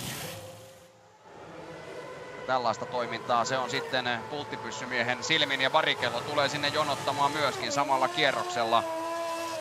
Se on pakko tulla. Näin siellä alkaa sitten hulina. Buemi tulee myöskin sisään. Näytti ainakin siltä, että Buemin auto ei ihan, ihan ehjä ollut, kun hän tuli. Ja toivottavasti saadaan kuviin joko tuo Buemin varikkopysähdys tai sitten, että mitä miehelle tapahtui tuossa äsken. Mutta harmi kyllä. Harmi, jos menee kilpailu pieleen. Toisaalta turvauta tulee siinä mielessä hyvän, hyvän kohtaan, että kun se varikkopysähdys joka tapauksessa täytyy tehdä, niin Buemi tulee tulee siinä mielessä hyvään paikkaan. Parikkello tulee siinä ikävästi juuri Heikin eteen. Mä en ole ihan varma, olisiko Kimin kannattanut nyt tulla kanssa. Niin, sitä tässä samaa mietin, että ollaan kuitenkin jo ajettu 19 kierrosta. Ilmeisesti Räikkösellä on sitten tieto, että polttoaine tali perään ja näin kyllä mielestäni molemmille autoille tulee tuossa kyllä vaurioita. No, mutta siinä on just se tilanne kanssa, että Vetteli tietysti joutui vaistamaan Trullin autoa tossa ja aika hurja juttu. Tää tuli vähän... Ei Näin se vaan ollenkaan. menee. Ei hyvä ollenkaan. Turva-auto odottaa siellä. Siellä on lisää romua. Lisää romua sitten radalla ja Huomi osuu Fetteliin ja Toro Rosso ja Red Bullin autothan kolaroivat myöskin Fujissa 2007. Silloin Vettel osui Mark Webberiin. He olivat kakkosena ja kolmosena ja silloin kyllä pääsi kyyneli, jos toinenkin Sebastian Vetteliltä. Nyt tällä kertaa toinen Sebastian Buemi on sitten tämän törmäyksen aiheuttajana. Tapahtumia on ainakin ensimmäiseen 19 kierrokseen riittänyt. Saa nähdä mitä tuota Vettelin autoa kävi. Se kyllä osui tuohon pyörään aika, aika kovasti, mutta ei ainakaan, näytä, jos... ei ainakaan näytä siltä, että siipeen tai muualle tuli mitään vahinkoa. Tuntuu hurjalta, jos olisi ihan kokonaan ilman vaurioita selvinnyt. Massa on hyvissä asetelmissa myöskin on toistaiseksi vielä ilman varikkopysähdyksiä, kuten kuva kertoo, ja Räikkönen tässä Hamiltonin edellä. Ja Molemmat herrat ilman pysähdyksiä, siellä on 7 ja 8. Ja Massa on yhdellä pysähdyksellä. Kyllä. Mitä luultavimmin, että siinä ei oikeastaan Massa voi mitään muuta tehdä tällä hetkellä kuin istua ja odottaa. Niin, ja ei välttämättä ole ollenkaan huonoissa asemissa. Muistetaan kuitenkin, että Felipe lähti tähän kilpailuun lähtöruudusta 13.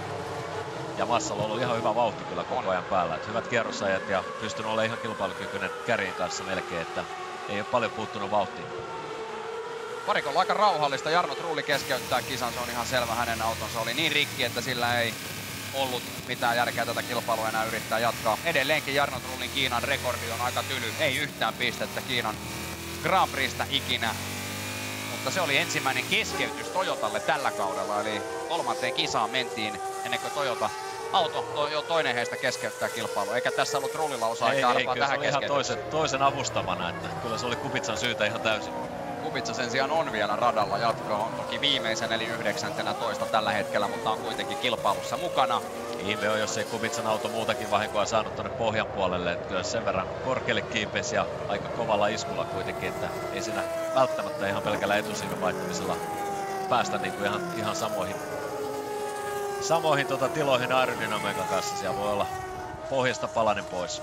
Kubica päätti kerralla romuttaa Trullilta sen paljon puhuttu tupladiffusori. Ja ehkä kurkkasi sen samalla myöskin ohjaamolla, oli sen verran paremmat näköalat sieltä yläkantista.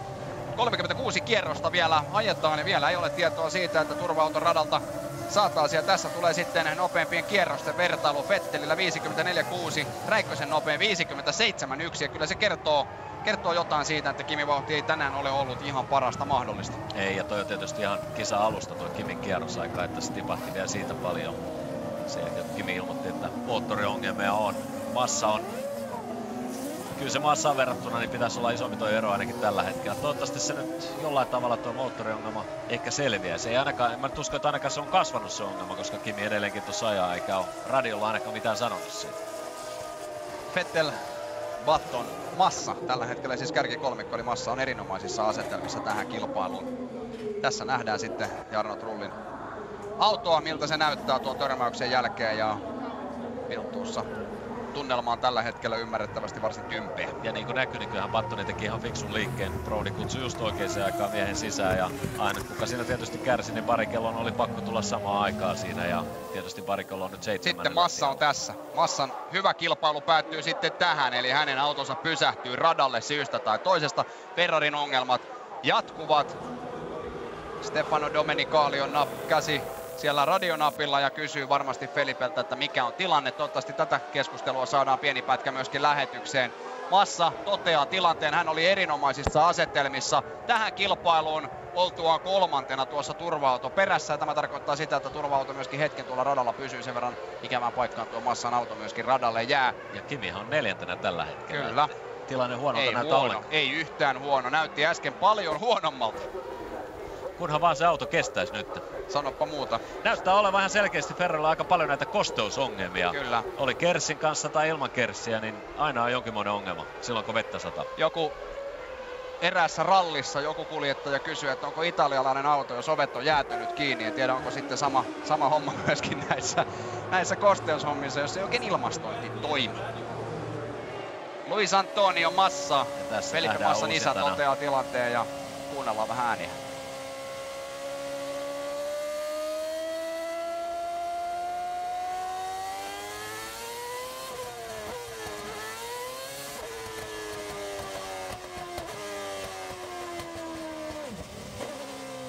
Ja, ja se jäi siihen. Pätki. Joo, se rupesi ihan tosissaan pätkimään vaan. Felipe Massa virrat- ensimmäiset, virrat ensimmäiset kolme kisaa nolla pistettä. Se on valitettavaa. Sympaattisen brassikuljettajan kannalta hän aloitti viime kaudenkin kahdella nollapisteen kilpailulla. Silloin kuitenkin nousi vielä taistelemaan MM-tittelistä. Kuunnellaan Hamiltonia. Lewis, this is lap 22. We expect you to get to 33. 33. We think Kimi in front is stopping two laps before you. Hamiltonille ilmoitettiin siinä nuo kierrokset, johon asti pystyy ajamaan. 33 Kolme. Ja Kimillä Oliko se- 31. Ja Kimillä 31, eli puolen välin miehiä molemmat. Näin paljon ollaan aika, siis sanotaan, että turva-autojen perässä, niin suurin piirtein noin kuusi kierrosta ollaan säästetty polttoainetta jo tällä hetkellä. Se on paljon. Se on todella paljon, kun täällä tuo Ja polttoaineen... turva-auto tulee sisälle. Tällä kierroksella. Tällä kierroksella. Polttoaineen kulutus tällä radalla 2,7 kiloa suunnilleen per kierros normaalilla kierroksella. 10 kiloa lisää painoa autoon tarkoittaa aika lailla tasan 0,4 sekuntia, eli niillä on isoja merkityksiä, isoja eroja näihin kierrosaikoihin syntyy tuon painon ansiosta ja polttoainetaktikoinneista. Hamilton on kieltämättä Räikköseen verrattuna erittäinkin hyvissä asetelmissa, mutta ei Kimilläkään yhtään huonolta näytä, nimittäin tällä hetkellä Kimi on tosiaan neljäntenä kilpailussa, joten oho, siellä sitten Sebastian Bourdais lähtelee. Nyt tuli kyllä semmonen pieni Lapsi. pahassa paikassa pyörähdys. Kahdeksannella sijalla kuitenkin. Tästä lähdetään sitten jälleen uudestaan liikenteeseen. Vettel, Button, Webber, Räikkönen, Hamilton viiden kärki tällä hetkellä. Parikello kuudentena Heikki Kovalainen seitsemäntänä, eli molemmat suomalaiset tällä hetkellä pisteillä. Ja näin lähdetään uudestaan liikkeelle. Sieltä lähtee Lewis Hamilton ulkokautta yrittämään Räikkösestä ohi ja lähellä on, ettei myöskin vähän osu, mutta hienosti siinä Hamilton pystyy tuon tilanteen kuitenkin kontrolloimaan. Niko Rosbergin sijoitus poimitaan se vielä. Se on tällä hetkellä 14. Nikohan on tuon yhden stopin jo aikaisessa vaiheessa ensimmäisen turvautoepisodin aikana tehnyt, kun 34 kierrosta on matkaa. Maaliin 22 kierrosta on ajettu. Räikkösellä siis tuon äskeisen McLarenin ennusteen mukaan olisi vielä 11 kierrosta polttoainetta ja pari kierrosta enemmän olisi hänen takanaan olevalla Lewis Hamiltonilla. Miehet ovat kahdesti toisensa ohittaneet jo tänään. Ja se tarkoittaa sitä, että Heikillä on Nyt menee polttoainetta 40 kierrokseen saakka. Kuvan ulkopuolelta kerrottakoon, että Lewis Hamilton ohittaa Kimi Räikkösen tuolla radan mutkissa 14-15. Ja ne on justiin ne Hamiltonin paikat, missä Hamilton on aivan erilaiset ajolinjat hakea. Ui, Heikillä vähän Heikillä vähän irtsuu, joo. Mutta Heikki on hyvissä asemissa myöskin. Ja myös polttoainemäärien kanssa. Kyllä. Heikillä on todella vielä paljon polttoainetta tällä hetkellä ja pystyy, pystyy tota jatkamaan tätä peliä. Jos tämä peli tällä lailla jatkuu, niin Kysä- voi olla hyvinkin, että turva-auto tulee vielä. Kysästään nopeasti, että mikä Felipe Massan ongelma oli. Mulla on tässä Ferrarin tiedottaja Luka Kolajanni. So, Luka, what was the problem for Felipe? Uh, looks like it was an electrical problem. Uh, obviously, know yet exactly because you need to wait for the car. Uh, this is what apparently has happened. It's a pity because he was doing a fantastic race. Uh, we could have had a good chance uh, to score good points, which we need uh, a lot at the moment. Uh, it's really a pity. There is still Kimi left. Yeah, Kimi was. He had some trouble at the beginning, uh, but then uh, later he was running well. Uh, still, he's in a good position. Uh, we'll see what we can do with him. Thank you. Coca-Cola Janni kertoi, että ei sähkövialta se vaikuttaa. Toki tarkemmin täytyy tutkia, niin kuin varmasti osataan sanoa. Ja tässä Lewis Hamiltonin ohitus. Kolmas ohitus tänään Kimi Räikkösestä. Timppa siinä huomatti, että on sille Kimi jäljellä vielä, kun Luka vähän harmitteli, että Fel- Felipe on ajanut hienon kisa ja olisi saanut hyviä pisteitä tästä kisasta ja sitähän Ferrari kieltämättä tarvitsee, niin eh, myöskin Kimi Coca-Cola Janni mielestä on hyvässä asetelmassa. Aika tyylikäs oli. Mahtava, mahtava paikka. Sama paikka, missä Trulli aikaisemmin. Oikeastaan Hamiltonin ohitti Trullin, että menee jokainen kaveri ihan selkeästi lankaa siihen. Siellä on niin hieno linja kyllä Kyllä. Hamiltonilla, että ottaa kaikki edun. Ja Vetteli menee kärjessä todella hyvin. 54, 6 Katsopas kierros. kierrosaikavertailua. Mattoni Mattoni. 58, 3. Ei, 4,3 ei ole. Vettelin autossa onneksi mitään vikaa. Kyllä nyt menee nuori kaveri taas kärjessä aivan omia menoja. Felipe Massa on saanut kyydin varikolle siellä lopulla. Vettel, Button, Weber on siis tällä hetkellä kärkikolmikko. Timo Glock ja Toyota sen sijaan on edelleen vaikeuksissa. Glockin etusiipi näytti siltä, että se on nyt kokonaan romahtanut tuossa äskeisessä kuvassa, missä Glock vilahti ja näyttää siltä, että hän on vaikeuksissa, mutta tämä mies ei ole vaikeuksissa. Hänellä menee tällä hetkellä erittäinkin vahvasti kierrosajat ovat aivan omaa luokkaansa. Katsotaanpa Kimin tilanne. Ja, mulla on Jarno Trulli tässä. Sieltä sitten. So Jarno, we all saw what, what happened. How would you describe the situation? I, uh, I don't know. I don't have a good idea of what happened because uh, I haven't seen anything apart uh, the big hit uh, from the back. How was the conditions uh, on, the, on the track? Uh, pretty difficult. A lot of rain, standing water, aquaplaning, and uh, bad visibility. Thank you. Ja tuossa näkyy sitten tuo Timo Glokin etusiipi, josta äsken puhui. Ja siinä Jano Trulli sanoi, että hän ei tiedä yhtään, mitä tapahtuu. Hän ei ole nähnyt mitään kuvia vielä.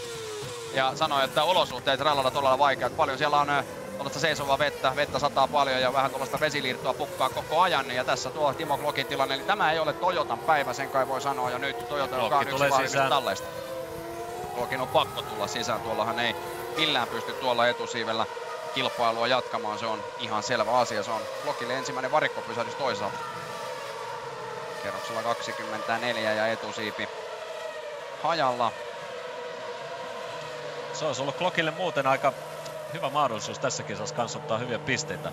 Kuitenkin Kyllä. ihan järkevästi teki ton taktiikan ja lähti varikolta, muutti taktiikan ihan täysin, että tuolla taktiikalla oltaisiin menty aika pitkälle, mikä Klokilla oli, jos se olisi etusiipiä rikottu. Ehdottomasti. Mutta siellä on Heikki hyvällä, Kimi viidentenä, Heikki, ku, Heikki kuudentena. Ihan hyvältä näyttää. Hamiltoni ainoastaan Kimi edellä kaksi sekuntia. Hamiltonin Webberin takana kaksi sekuntia. No nyt on Webberi, no kaksi sekuntia Webberi on Battoni ja Battoni on jäänyt 5,7 sekuntia Vettelistä sitten. Huimia, huimia aikoja kyllä. kyllä Vettelin kierroseet tällä on. hetkellä. Ja sen verran päivitystä tähän kelitilanteeseen, että ihan täsmälleen yhtä kovaa sataa kuin sato tuossa kisan alussakin, että siinä ei ole mitään muutosta. Joo, kyllä Vettel on puolitoista kaksikin sekuntia nopeampi kuin muut tuolla radalla paikotellen, eli 54.6 edellinen kierros, Patto 56 tasan, Weber 56.5, Hamilton 57.4 ja Räikkönen 57.6, Kovalainen 58.3, eli ei ole helppoa, ei ole helppoa muilla tällä hetkellä. Sebastian Vettel vetää tällä hetkellä kärjessä ihan omia menoja, mutta otetaanpa tämmönen positiivinen näkökanta tähän asiaan, joka nyt Kimi Räikkönen viides, Heikki Kovalainen kuudes. Sehän näyttää ihan hyvältä meidän suomalaisten kannalta, jos ajatellaan, mitkä olivat lähtökohdat tähän kilpailuun, mikä on tällä hetkellä totuus. Se, että ei McLaren eikä myöskään Ferrari ole tällä hetkellä siinä kyydissä, että normaalioloissa kamppailisivat voitosta. Siihen nähden nämä sijat näyttävät oikeinkin hyvältä. Nämä on ihan hyviä vielä ja tietysti taktikoinnin puolesta niin ei se silläkään puolella näytä yhtään heikommalta, varsinkaan Heikin osalta. Heikillä on hyvin vielä polttoainetta tossa ja Heikki on hyvin siinä pelissä mukana. Että tuosta voi olla vielä mahdollisuudet ihan, sanotaan vaikka kolme joukkoa, jos, jos tota, kaikki toimii hyvin. Olen sitä mieltä, että Räikkönen ja Kovalainen molemmat saattavat tänään kilpailla vielä sijoista. Sanotaan, että uskoisin, että toinen näistä herroista saattaa tänään tuonne palkintokorokkeelle mahtua. Se tällä hetkellä olisi minun ennustukseni, kun on vielä 31 kierrosta tätä märkää kilpailu vielä jäljellä, jossa mitä tahansa toki saattaa sattua. Ja tässä on toinen kaveri justiin Sebastian Buemi. Ois ajanut todella hyvän kisan ilman tota kolhasua ja etusiiven vaihtoa. Buemia oli yhden pysähdyksen taktiikalla myöskin ja joutui te- tietysti tekemään tuo ekstra stopia ja polttoainetta lisää. Nyt on aika raskas auto tällä hetkellä ja joutuu taistelemaan Alonson kanssa. Se on myös semmonen kaveri, että jos vaan pysyy radalla nyt aika aggressiivinen näköistä vetoa nyt koko ajan tossa ja näkee vaan sen, että Alonso Alonso painaa päälle kovasti. Jos katsotaan vähän näitä herroja, jotka tekivät tosiaikaisessa vaiheessa tämän varikkopysähdyksen. Adrian Sutil kävi kierroksella neljä sisällä. Sutil on tällä hetkellä kolmantena toista. Niko tuli kierroksella viisi sisään. Niko ei ole oikein pystynyt tuolta nousemaan mihinkään. Hän on edelleen viidentenä toista, mutta Fernando Alonso on pystynyt vähän sieltä poimimaan. Hän tuli kuudennella kierroksella sisään ja on yhdeksäntenä. Siinä on yllättävän isoja eroja näiden miesten välillä, kun ajatellaan, että pysähdykset olivat kierroksella 4, 5 ja 6. No Sutili jos lasketaan pois, mutta Alonso ja Niko molemmat sieltä kärkipäästä. Alonso oli kakkosena ja Niko seitsemäntenä ja näiden herrojen välillä on tällä hetkellä iso ero. Joo, Niko ei vaan ollenkaan vauhdissa mukana. Että todella hitaita kierrosaikoja koko ajan ja Niko ajaa tällä hetkellä Kubitsan takana. Ei vaan, ei vaan vauhti riitä ollenkaan nyt. Että joku ongelma siellä täytyy olla. Alonsolla sen sijaan näyttää vähän paremmalta. Hän tosiaan ahdistelee jo Sebastian Buemia, nuorta sveitsiläiskuljettajaa tuossa piste sijasta, eli kahdeksannesta sijasta. Verrataan vähän Räikkösen ja Hamiltonin kierrosaikoja. Kimi ajaa kahdeksan tuhannesosaa nopeamman kierroksen kuin sitten jälleen viimeisessä mutkassa on vähän vaikea. Oli vaikea tuosta kuvasta kyllä Oliko- päätellä. oliko toinen BMW kuskeista. Näytti olevan, jos oli BMW-kuski, oli Nick Heidfeld silloin nimenomaan kyseessä tietenkin, koska keltainen kamera sieltä vilkkui. Tässä ollaan Battonin kyydissä ja kuunnellaan Jensonia. Uh, Vettel is only quicker by the fuel effect. Webber is also shorter. Webber shorter. Näin siellä ilmoitetaan, että Vettel on nopeampi ainoastaan polttoaineeron takia ja myös Webber tekee lyhyemmän stintin, eli tulee Battonia ennen varikolle ja tässä sitten eh, tuo tilanne uudestaan. Se on Nakajima, eli kyllä BMWn ja Williamsin autot menevät välillä vähän suttuisessa sadekelikuvassa sekaisin keskenään. Eli Katsuki Nakajima käy siellä vähän ajolinjan ulkopuolella seikkailemassa. Hän on kymmenentenä siinä Alonson perässä tällä hetkellä, kun tässä puolestaan Timo Glock, joka on kilpailussa viimeisenä, eli 18. Ja se uusi etusiipi ihan kuuhun asti näköjään vie. Ei se oikein, siinä on tietysti Glockilla kova yritys päällä ja kyllä aika liukkaalta näyttää tuo rata tällä hetkellä, että jos ei, jos ei kaikki ole sillä lailla täydellisesti, että pystyy ajamaan vaan ja keskittymään tuohon ajamiseen ja sillä lailla hyvässä rauhassa, niin helposti tekee virheitä ja nyt ollaan. Ferrarilla valmista. Räikköstä ollaan ottamassa sisään. Ehkä Kimi otetaan jo aikaisemmassa vaiheessa. Ilmeisesti vähän aikaistetaan tuolta stoppia. 26 kierrosta ajettu 30 ajamatta. Ja nyt sitten, jos se on pitkä pysähdys, niin se tietenkin tarkoittaa sitten sitä, että Kimillä on mahdollisuus tämä kilpailu ajaa tuolla yhdellä stopilla loppuun. Toivottavasti tuo stoppi nyt, stoppi nyt sitten osuu oikein hyvin kohdalleen. Räikkönen putoaa kyllä totta kai kauas kärjestä tämän pysähdyksen myötä, mutta sitten pitää ryhtyä raivaamaan tieltä sieltä hitaampia miehiä edestä. Toivottavasti niitä siinä on. En tiedä, onko tuo nyt ihan vielä tällä hetkellä, jos vaan polttoainetta riittää, mutta Kimi tulee sisään. Kimi tulee sisään joka tapauksessa. Turha jossitella. Näin kuitenkin tapahtuu. Kierroksella 27 Kimi tulee sisään ja näin pistetään uudet täydet sadekelipyörät sinne Kimille tietysti alle. Polttoaineletku pysyy kiinni, se pysyy Paljon kiinni laita. todella pitkään. Se on 11,4 sekuntia ja loppuun se on saakka. sillä selvä. Kimi menee tällä loppuun saakka, jos ei ongelmia ilmene. Ja nyt toivotaan, että kilpailu etenee Räikkösen kannalta myötäisissä merkeissä tästä eteenpäin. Se oli yllättävän aikaisin kuitenkin Kimi tuli vielä sisään. Tuossa vaiheessa kuitenkin tilanne oli se, että olisi kannattanut pysyä ulkona, mutta se voi olla tietysti se, että Kimillä on ollut renkaissa Siellä onko Naka. Nakajima? Nakajima, Kyllä. Nakajimalla on aika paljon ollut näitä poistumisia nyt, että Löytää kuitenkin reitin takaisin. kohta odotetaan sitä, kun se osuu kaiteeseen sitten. Niin, se näyttää kyllä siltä, että ei siinä kauan mene, kun näin, näin tapahtuu, jos näin isoja ongelmia on. Ja nyt odotetaan sitten, katsotaan mihin väliin Kimi sieltä tulee, kun tässä näkyy, mennään perään edellä. Ja nyt kävi kyllä tuurikin jo Nakajimalla. Ja pääsi onneksi laittamaan tarpeeksi aikaisessa vaiheessa. Pike on siinä. No Nelson Pike niistä kaiteeseen törmäilijöistä puheen ollen. Nelson Pikeen kilpailu päättyy tähän ja nyt katsotaan mihin. Näyttäisi, että on aika syvällä turva-alueella. On aika pahassa paikassa. Pystyy vähän siirtämään. Pääseekö peräti vielä liikkeelle Pääsee, siitä? pääsee liikkeelle. Äh, Aika paljon soraa tulee toki radalle. No sitä tulee tuohon sivuun, ei se ole ajolinjalla. Ja toiseksi niin tällä kelillä toi sora kyllä antaa sulle enemmän pitoa. Niin, se voi olla, että se on vähän niin kuin hiekotus. Siinä on taas Pikeellä kyllä tuo lähtölaskenta on pikkuhiljaa aika lähellä. Se meni. Se lähti kyllä ihan lapasesta. Se meni ihan sen ratin ja penkin väliin se, se syy. Näyttävästi lähtee ja siitä vielä tuo Shell saa vähän ylimääräistä mainosta, kun Pike räjäyttää sen mainokseen siitä tieltään pois. Sutililla vähän ilmeisesti myöskin samantyyppisiä ongelmia. No, se ei tarvitse, kun kerran lähtee vähän peräjarrutuksen alussa irti, niin se on sitten myöhäistä enää siinä vaiheessa korjata ennen kuin se menee liian pitkäksi. Heikki Kovalainen on tällä hetkellä kilpailussa viidentenä. Ei ole tehnyt vielä varikkopysähdystään. Heikin ero kärkeen on 23,9 sekuntia ja Räikkönen putosi luonnollisesti kovin kauas kärjestä tuon stoppinsa myötä. Putosi viidenneksi toista, ero kärkeen 54,2 sekuntia. Siinä Web- on Niko Kimin edellä. Ja nyt on Weberi kyllä todella lähellä. 1,3 sekuntia ainoastaan Battonin takana ja painaa päälle, mutta kyllä on Vetteli mennyt omia menojaan keulalla. 10 sekuntia on ero jo tällä hetkellä Vettelin ja Battonin välissä. Kyllä, Sebastian Vettelin kannalta näyttää kohtuullisen hyvältä, mutta en tiedä. No Vettelin pitääkin vetää lujaa tällä hetkellä. Vetteli on ensimmäisenä tuosta kärkiporukasta tulessa, tulemassa sisään. Luultavimmin kierroksella 38, kun Weberi tulee kierroksella 41. Ja sitten tietysti Jenson Buttoni vasta kierroksella 46. Näin se on, ja nyt tulee sitten Pike linkuttaa tuonne varikolle. Se kerrottakoon kuvan ulkopuolelta. Katsotaan, pystyykö Nelson jatkamaan kilpailua. Kyllä sellainenkin varikkotiimi sellaisessa valmiudessa on, että Keula, yritetään keula tuonne vai- Renault saamaan vielä radalle. Siiven vaihto, etupala vaihto. Ei, kyllä siellä Ratti. Siellä laitetaan uutta rattia. Se on vähän eksoottisempi vaihto näillä varikkopysähdyksillä. Ja nyt sammu moottori. Taisin sammua toivokipinä siinä samalla, että kun näkyy, niin siinä on Se voi olla, että jouduttiin moottori sammuttaa. Se ei muuten Kyllä. nollaa tota ratin, toimintoja ja tota toista rattia ei saada sitten toimimaan siinä. Sieltä tulee Pike ja tulee ikävästi siihen Jenson Buttonin eteen.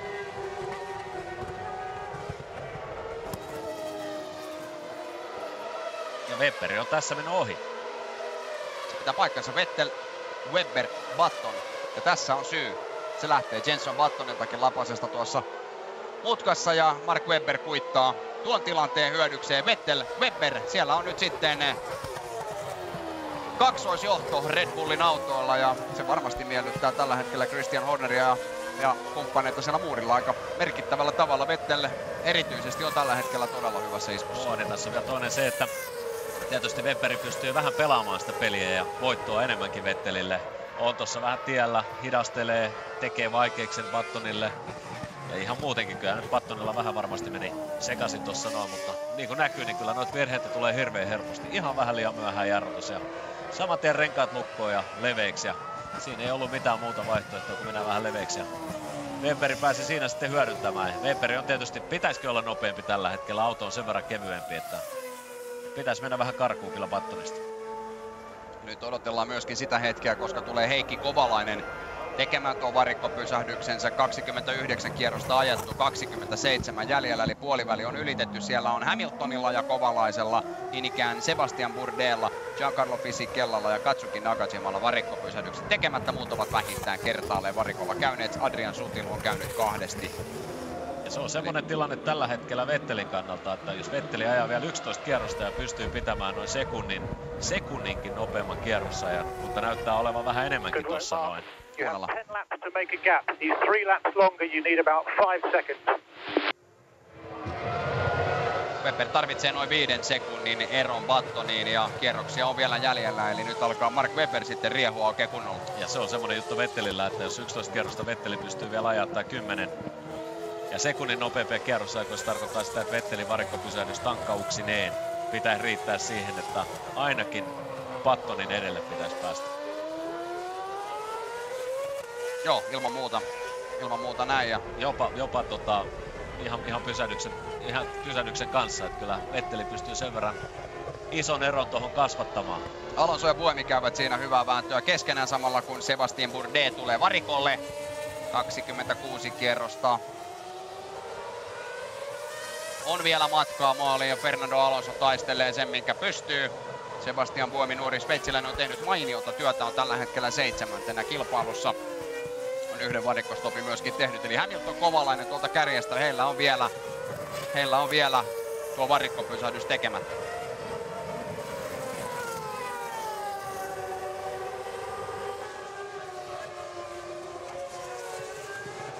Tässä näkyy Fernando Alonso on kuusi pykälää starttipaikalta tullut alaspäin, kun Buemi on noussut kolme.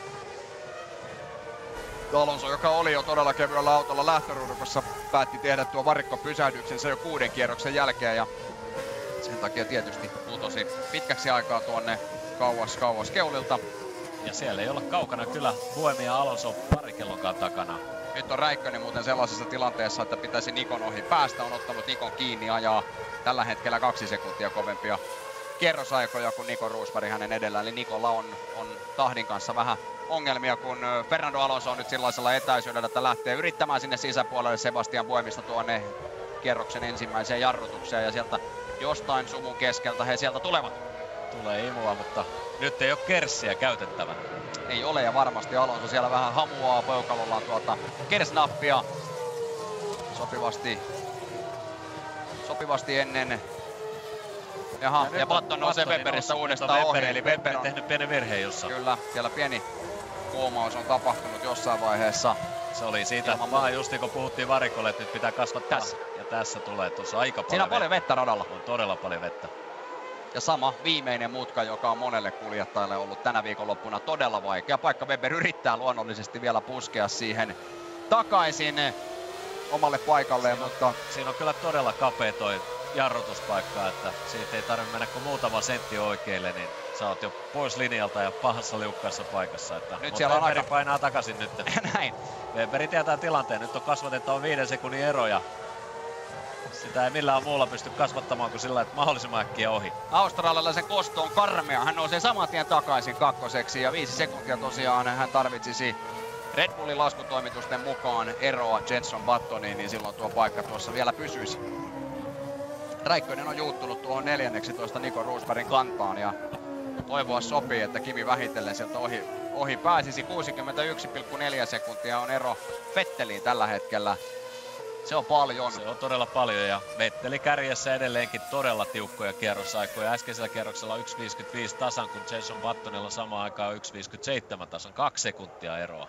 Button lämmittelee renkaitaan melko aggressiivisella tavalla ja nyt täältä kuvan ulkopuolelta kerrotaan, että Kimi on kyllä aivan kiinni siinä Niko Roosbergin autossa. Joutuu vähän hölläämään tuohon mutkaan, kun tullaan sinne 16, mielestäni 16 mutkaan. Tuolla katsotaan mihin Kimi sitten piolta pystyy.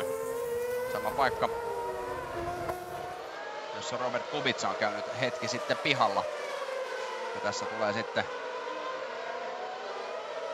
uusintana tuo Weberin ohitus. Ja Weber käytti samaa paikkaa, mitä Lewis Hamilton on käyttänyt erittäin hyvin parina ohituspaikkana jo ja näköjään pikkuhiljaa muutkin kuskit oppii ton paikan.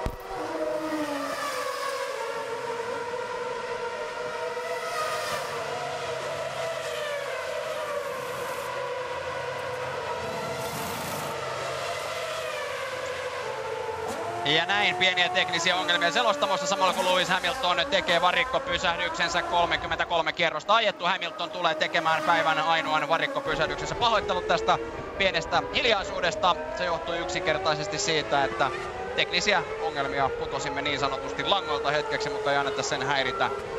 Lewis Hamilton on oman pysähdyksensä tehnyt ja varmasti kohta tekee myös oman stoppinsa Heikki Kovalainen. Ja nyt on Mark Webberi ajamassa kovia kierrosaikoja ja tietää, että pitää kasvattaa Battoniin 5 sekuntiin se ero ja tällä hetkellä ero on 3,1 sekuntia. Webberin äskeinen kierros 1.54.2, kun Battoni samaan aikaan 1.56.6 ja Vetteli kärjessä 1.54.9. Tässä Räikkönen ajaa sitten edelleen Niko Roosbergia takaa. Niko on tällä hetkellä 12, Kimi 13, Kimi tietää, että ohi pitäisi päästä, jos aikoo sieltä vielä hyville sijoille nousta. Mutta ei ole helppo tilanne, niin kuin näkyy, niin Kimi kyllä koko ajan kärkkyy ja hakee, mutta se on vaan, että ei pääse tarpeeksi lähelle. Kyllä siellä melkoinen sumu tuolla takana on ja kyllä se on todella vaikeaa päästä ihan, ihan toisen perään. Mutta hitaita kierrosaikoja tietysti ajaa kummatkin. Kyllä. Nikolla kierrosaika 1.39 tasan, kun Kimi pystyi kuitenkin takana ja 1.37.8. Ja Vetteli jo nyt taas erittäin kovan kierrossa ja 1.54.4 oman, oman nopeimpansa.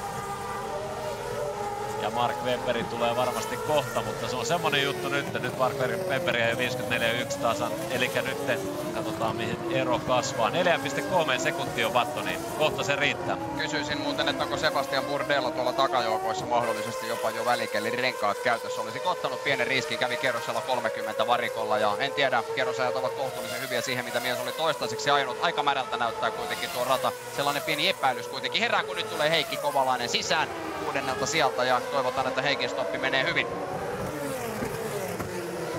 Kyllä siellä voi olla hyvinkin se, että Burdell on välikelin renkaat. Näin epäilisin. Kovalainen lähtee kuitenkin niin täysillä sadekelin pyörillä omalta stopiltaan. Ja toivottavasti Heikinin kilpailu menee tästä loppuun asti sitten oikeinkin hyvin. Kumitsalla on etusiipi ongelmia, niin kuin tämä kuva kertoo. Se on vähän epäterveessä asennossa tuo keulakappale. Ei ole ihan linjassa, niin kuin näkyy, siinä on useamman sentin, useamman sentin rakku. Joo, ja laahaa maata tuolta päästä, että se on vähän taittunut. Jossain on tullut pientä osumaa. Niin Jälleen kerran. Onko mennyt kiinnitys vai? Vähän huonosti alun perinkin ja lähtenyt sitten irti. En tiedä, joka tapauksessa isoja ongelmia on. Siinä on tallikaveri Haikfeld takana. Yllättävän kovaa pystyy ajamaan tuollaisella etusiivellä.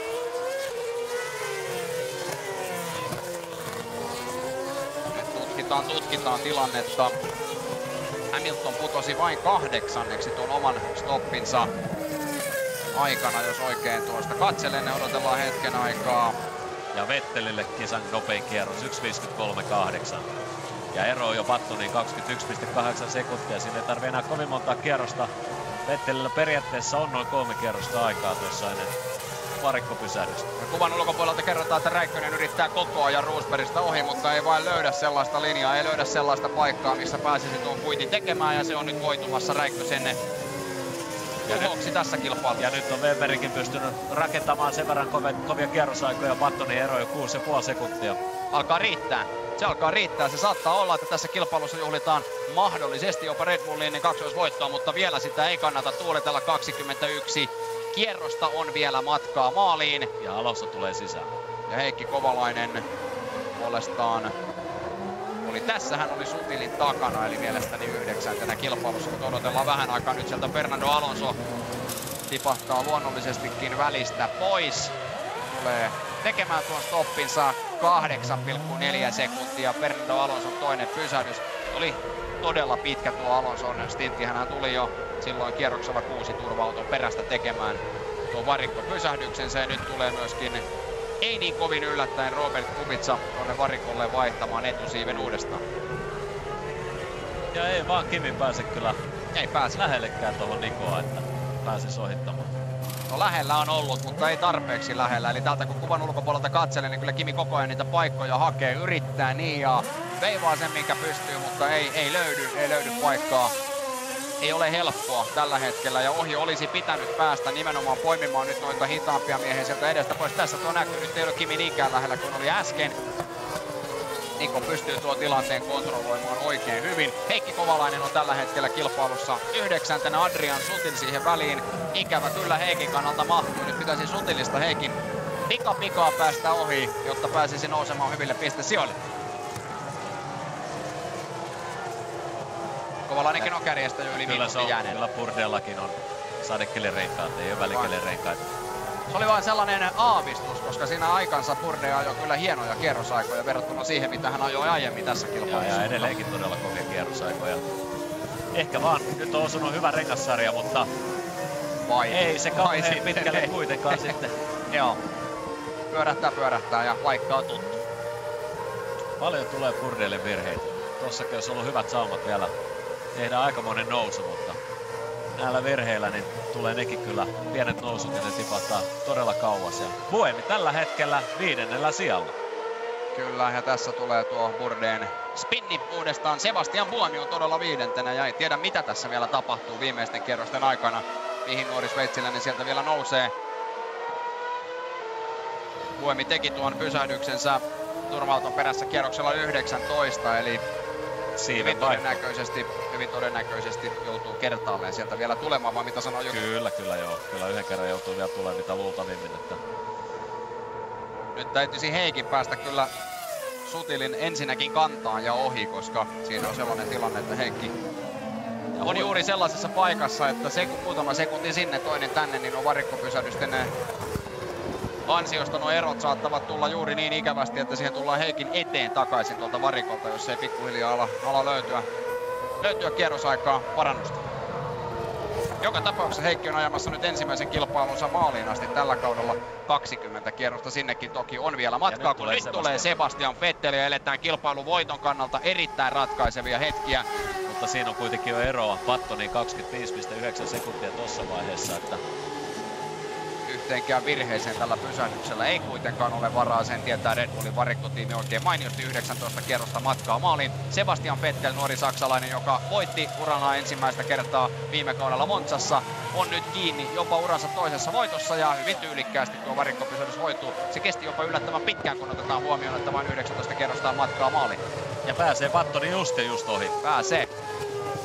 No joo, mutta eikö Pattonikin joudut tulee sisään? Pattoni joutuu tietysti tulemaan, mutta tuossa vaan katsottiin sitä, että riittääkö tuo aikaero siihen, että Vetteli pystyy tulemaan jopa Pattonin eteen, mutta ei ihan riitä. Ihan se ei siihen riittänyt, eli sellainen 26 sekuntia olisi tarvittu. Ja nyt on Alonsolla ongelmia. Selkeästi. Siinä meni nyt nimittäin jo Kimikin Alonsosta ohi, Alonso oli yhdeksäntenä. Nikokin on mennyt ohi.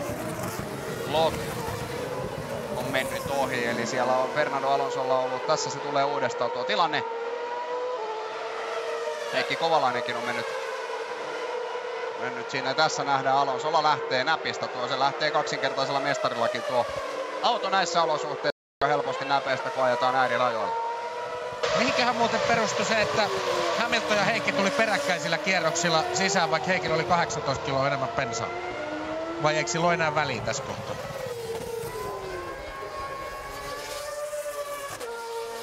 Niin, se on hyvä kysymys. Se on oikein hyvä kysymys. Kyllä Heikillä pitäisi olla, mutta se voi olla ihan hyvinkin se, että ollaan menty jo reippaasti yli puolen väliin ja tietysti toi rengaskin jossain vaiheessa alkaa antamaan periksi, että ehkä se rupesi antamaan jo sen verran, että sen takia Heikin sisääntuloa vähän aikaistettiin. Nyt Heikki on kilpailussa kahdeksantani, eli yhdessä M-pisteessä kiinni. Adrian Sutil olisi siinä edellä ja hyvin lähellä. Heikin pitäisi Sutili kuitata siitä ainakin. Kyllä, ja Sutililla on kaksi pysähdystä tehty toki jo, eli en tiedä joutuuko mies vielä kertaalleen sieltä sisään tulemaan. Hän teki ensimmäisen pysähdyksensä jo neljännellä kierroksella turva-auton perässä. Ja nyt siinä on semmoinen tilanne, varmasti Vettelillekin kerrotaan, että älä nyt mene turhaa liian lähelle. Että tässä on kuitenkin semmoinen tilanne, että Battonikin joutuu tulemaan vielä sisälle. Ja siihen on varmasti matkaa vielä noin 3, 4, 5 kierrosta. Siinä välissä Mark Webberi varmasti pikkuhiljaa kohta tulee. Vettelihän tuli kaksi kierrosta ennen kuin oli periaatteessa suunnitteilla sisälle tulossa. Voi olla, että Webberillä tulee tapahtumaan ihan sama. Mark Webber johtaa tällä hetkellä kilpailua. Tämä on neljäs kilpailu, mitä hän urallaan johtaa. Yhtään niistä kilpailuista hän ei ole ajanut maaliin asti. Tänään saattaa tuo tilasto vielä muuttua. Yksi stoppi siellä Webberinkin on toki vielä tehtävä. Monaco 2006, Japani 2007. Siinä on pari kilpailua, missä hän on johtoasemasta kilpailu jopa keskeyttänyt. Ja tässä nähdään nyt Heikin ja Adrian Sutilin välistä taistelua paina, paina Heikki nyt Sutilista ohi, ne olisivat tärkeitä sekunnin kymmenyksiä, mitä siinä pystyisi vielä kuittaamaan. Siinä olisi sitten tallitoveri Lewis Hamilton viiden sekunnin päässä Sutilista edellä.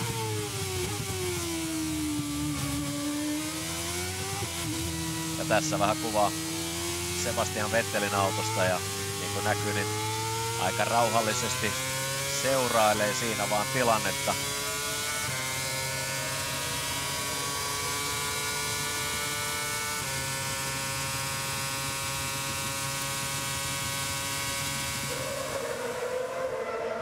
tyylikkään näköistä menoa joka tapauksessa ja on ajamassa jopa omaa parasta kierrostaan, vaikka ajakin melko rauhallisen oloisesti. Eli tyylikästä ja varmaa menoa, ettei mitään turhia. Ja nyt tulee Webberi sisään. Mark Webber viimeistä kertaa tänään varikolle. 17 kierrosta matkaa maaliin. Australialaiskuski tulee tekemään tuon oman stoppinsa ja ennakoin, että sinne varikellon eteen tai välittömästi tämä taakse hän tulee. Ja Sebastian Vettel tuolla rauhallisen näköisellä kierroksella kisan nopein kierros 52.918 ja siitä lähtee Weber 7,5 sekunnin stoppi ja siellä on myöskin Isä Weber katsomassa, seuraamassa tilannetta. Varikellon Siihen taakse pääsee, epäilen. siihen pääsee Weberin eteen. eteen. Eteen, eteen. Kolmanneksi peräti, eli siihen se oli aika hyvä veto, koska kuitenkaan eroa varikelloon ei ollut kuin sellainen 23 sekuntia. Eli lyhyt varikkopysähdys ja takaisin radalle ja Rubens varikellon eteen. Lähelle muuten menee, ettei tule kahden tunnin aikarajan vastaan. Ei se ihan vielä tuu, mutta jos yksi turva-auto tulee tuohon vielä, niin sit, sitten tulee kaksi tuntia ennen kuin kierrokset. Kyllä, 34 minuuttia tasan juurikin nyt on jäljellä sitä aikaa, missä tämä kilpailu pitäisi ajaa läpi. Ja vähän sen alle ollaan tällä hetkellä menossa. 17 kierrosta ja vähän alle kaksi minuuttia per kierros. Se tosiaan ei tarvitse pari-kolme kierrosta turva perässä, niin sitten tulee kahden tunnin aikaraja vastaan.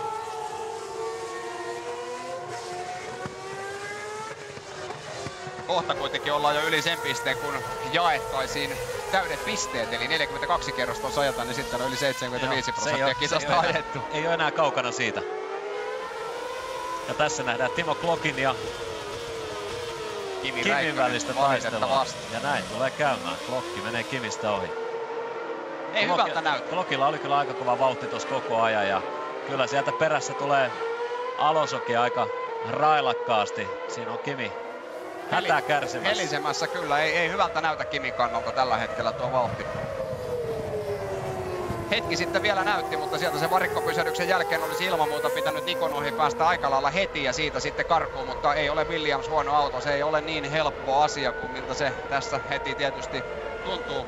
Jos ei Nikonkaan kilpailu ihan niissä merkeissä ole mennyt, missä hän on odottanut, mutta on kuitenkin tällä hetkellä kymmenentenä kisassa. Joo, ja Heikki ei ole edelleenkään päässyt mitenkään hyödyntämään tuota tilannetta. Edelleenkin Sutili on edessä. Heikki on vähän kerrallaan tuota eroa kaventanut. Se on se puoli sekuntia nyt tällä hetkellä. Ja odotetaan, odotetaan, että Heikki tuon liikkeen pystyisi tekemään. Joka tapauksessa Sutililla on tietysti vielä yksi toppi edessä. kaksi on tehtynäkin kyllä toisaalta. Toinen oli, no joo, se voi olla hyvinkin, että ei ole enää. Sepä tässä juuri huolestuttaa. Siinä, siinä ja siinä. Se tässä nimenomaan juuri huolestuttaa.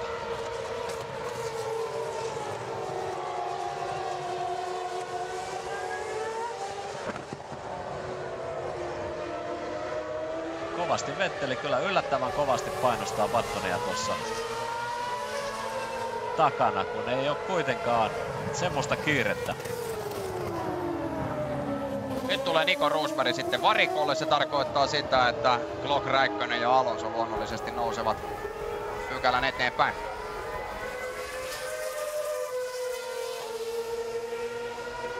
Ja on- Battonia varten ollaan valmiina. Ja nyt on Vetteli aika lähellä tuolta takasuoralla. Näyttäisi siltä, jos oikein tuolta kurkin, niin Toivottavasti ei nyt lähde tässä näin. lähtee. Lähtee. Lähtee. Lähtee yrittämään No onneksi ja sen verran menee. meni, että ei ollut mitään hätää, mutta Näin nousee Sebastian Vettel kilpailun kärkeen. Jenson Battonia odotellaan kyllä varikolla ihan minä hetkenä hyvänsä. Ja äsken siellä Brownimiehet olivat jo vähän ulkonakin, mutta ei vielä ei tällä tältä kerroksella. kierrokselta tule Jenson Button sisään.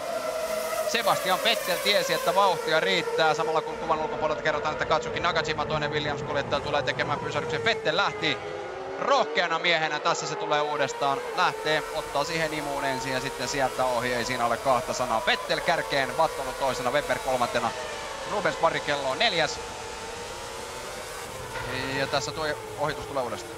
Joo, Fettelillä on selkeästi taktiikkana, että tärkeintä ei ole voitto, vaan ylivoimainen voitto. Kyllä, vastustajan täydellinen nöyryyttäminen. Siitähän tässä nyt on kyse. Sebastian Buemi on tällä hetkellä kilpailussa viidentenä. Puemillahan on vielä yksi pysähdys edessä. On toki, on toki. Lewis Hamilton on kuudentena, Sutil seitsemäntenä, Kovalainen kahdeksantena. Näyttää siltä, että Heikki Kovalainen avaa suomalaisista ensimmäisenä pistetilin tällä kaudella.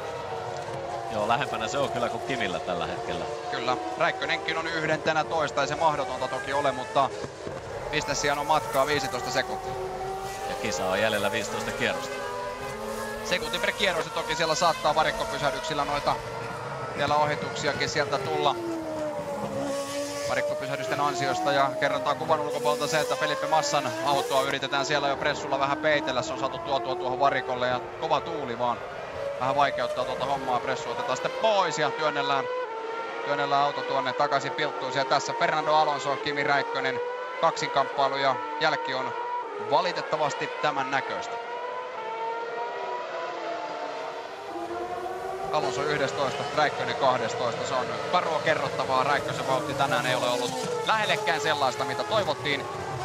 Mutta kieltämättä Ferrari on ollut, ollut ongelmissa koko alkukauden ja erityisesti täällä ilman tuota kerssiä ei ole, ei ole päässyt missään vaiheessa sellaiseen iskuun, että olisi ollut lähelläkään. Tietysti en tiedä mihin Felipe Massa olisi voinut nousta. Hän oli kolmantena kilpailussa, kun nyt tulee Jenson Button sisään. Samalla Sebastian Vettel ajaa kilpailun nopeimman kierroksen ja on karkaamassa tämän kilpailun voittoon. Ja nyt on mielenkiintoista nähdä tuo Webberin Battonin väli. Kyllä tietysti Webberin ehdottomasti pitäisi olla edellä Battonia. Ehdottomasti. Ja Barikello siellä ajaa kuin varmemmaksi vakuudeksi sitten takana vielä 1.52.592. Se on kisan nopein kierros toistaiseksi. Jenson Button varikkopysähdyksellään. Se menee nätisti 7,8 sekuntia. Mies takaisin radalle. Ja sieltä tulee Jenson Button takaisin tuohon omalle paikalle ja putoaa neljänneksi tuon varikkopysähdyksen myötä. Sebastian Vettel on tällä hetkellä enemmän kuin lähellä uransa toista Formula 1 MM-sarjan osakilpailuvoittoa. Se on hurja temppu. Se on todella hurja temppu. Vähän ennakoitiin, vähän ennakoitiin sitä, että ei pysty tuolla kevyellä bensakuormalla sadekelillä pitämään tuota paikkaansa, mutta niin vain Vettel on kärjessä ja suomalaisittain sellainen iloinen uutinen, että Heikki Kovalainen on nyt noussut seitsemänneksi vihdoin ohi Adrian Sutilista ja on itse asiassa kaventanut eron Lewis Hamiltonin 2,8 sekuntiin, eli Hamilton jostain syystä ajaa tällä hetkellä joka pari sekuntia hitaampia kierroksia kuin Heikki. Tai ainakin edellisellä kierroksella. Toi oli oikeastaan edellinen kierros vaan, että nyt ei ihan tarkkaan vielä ole selkoa, että mitä siellä on tapahtunut, mutta Heikki on lähellä. Jäsenten välinen voi olla vielä luvassa siitä. No, menee tiedä. Joka tapauksessa siinä on Sebastian Buemi vielä sellaisessa tilanteessa, että mielestäni hänen pitää tulla yksi varikkopysähdys tekemään. Hän on ainoastaan kertaalleen pudonnut, tai kertaalleen tehnyt varikkopysähdyksen. Hän putoaisi tuolta vielä pari pykälää alaspäin. Se tarkoittaisi, että Heikki Kovalainen saattaisi tänään olla kuudes ihan pelkästään tuon ansiosta, mutta katsotaan nyt kuitenkin nämä 13 kerrosta loppuun. Kuten moneen kertaan todettua, mitä tahansa voi tässä kilpailussa vielä tapahtua. Mä en ole ihan varma, huomasitteko tai sanoitteko, mä en ole ihan koko ajan kuullut, niin tota, Nikola taitaa olla välikelipyörät. Jaha, Niko Roosberg olisi sitten ensimmäinen rohkea mies, joka on lähtenyt sitä kokeilemaan. Nikohan putosi tuossa äsken oikein komiasti kärjestä, kun nyt tulee Rubens kelloa omalle viimeiselle stopille, tai Niko kärjestä pudonnut. Sen hän teki kovasti jo aikaisemmin tässä kilpailussa, mutta katsotaan miten sujuu Barricellon stoppi. Se on lyhyt pysähdys, ei muuta kuin uutta pyörää alle ja takaisin baanalle. Lähinnä vois vähän seurata Nikon kierrosaikoja. Ei ainakaan toistaiseksi mitään maagista. 54-6 edellinen kierros, kun Vettel kärjessä 52-7.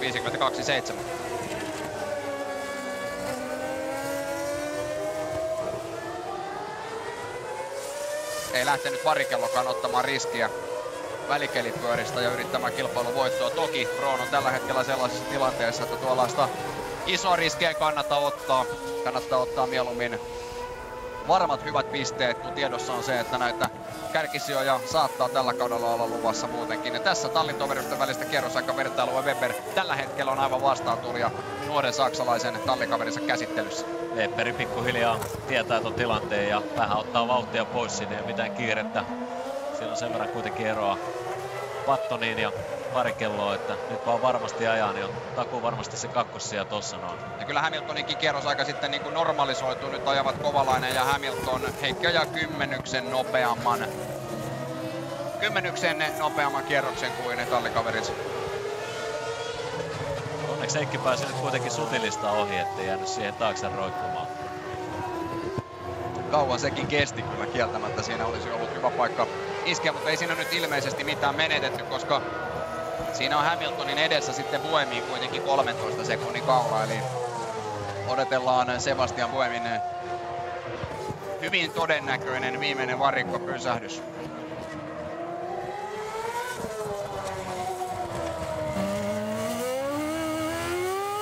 Ja tässä Lewis Hamilton kuudennella paikalla. Tämän näköistä se on, ei se näkyvyys vielä kovin kaksista ole, mutta Hamilton pystyy siellä hyvin taiteilemaan. Ja nyt jos ajatellaan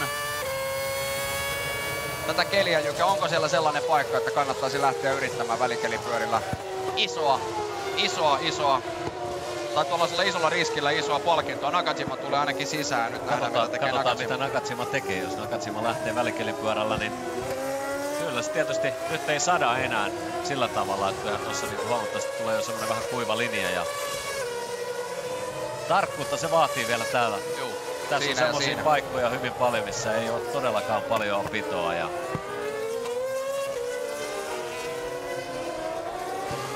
On tää himpun verran laantunut tää sade. Niin, Nakajima keskeyttää, eli ei ole minkään asteisia pyöriä hänelle luvassa enää tässä kilpailussa. Niin vähän ehkä laantunut tää sade, mutta, mutta kuitenkin koko ajan sataa. Joo, kyllä se aika lailla riskin rajoilla mielestäni on. Ainakaan sellaisten kavereiden, jotka ovat hyviä pisteitä tässä ajamassa, ei, ei, ei kannata lähteä ei, ei missään nimessä, koska kyllä toi ajolinja, missä pystyy niillä renkailla ajaa, niin on todella kapea. Siellä on silti muutamia paikkoja, missä on paljon vettä, että kyllä se virheen mahdollisuus, niin se kasvaa niin huomattavasti, että ei, ei semmoista riskiä kannata lähteä kyllä hakemaan. Eikä tarvettakaan kyllä kenelläkään tässä kärki, kärkiporukassa. Renkaat on jo vaihdettu ja nyt ajetaan loppuun saakka ja se on siinä, että tietysti joku tuolta takapäin voisi yrittää tehdä yllätystä. Se on semmoinen juttu kuitenkin, että jos katsotaan noita kierrosaikoja, niin Sebastian Bourdin kierrosajat on kyllä todella nopeita tällä hetkellä. Mutta Bourdin on vasta siellä 13. Räikkösen hän on kuitenkin kohta ajanut tällä menolla kiinni. Kimi on siis 12, eikä, eikä näytä hyvältä. Kolme kisaa peräkkäin ilman pisteitä Ferrarilla. Ja nyt tulee Sebastian Buemi sisään. Näin on. Sveitsiläiskuski tulee tekemään toisen pysähdyksensä. Tänään näin ollen Parikello nousee neljänneksi, Hamilton viidenneksi ja Heikki Kovalainen kuudenneksi.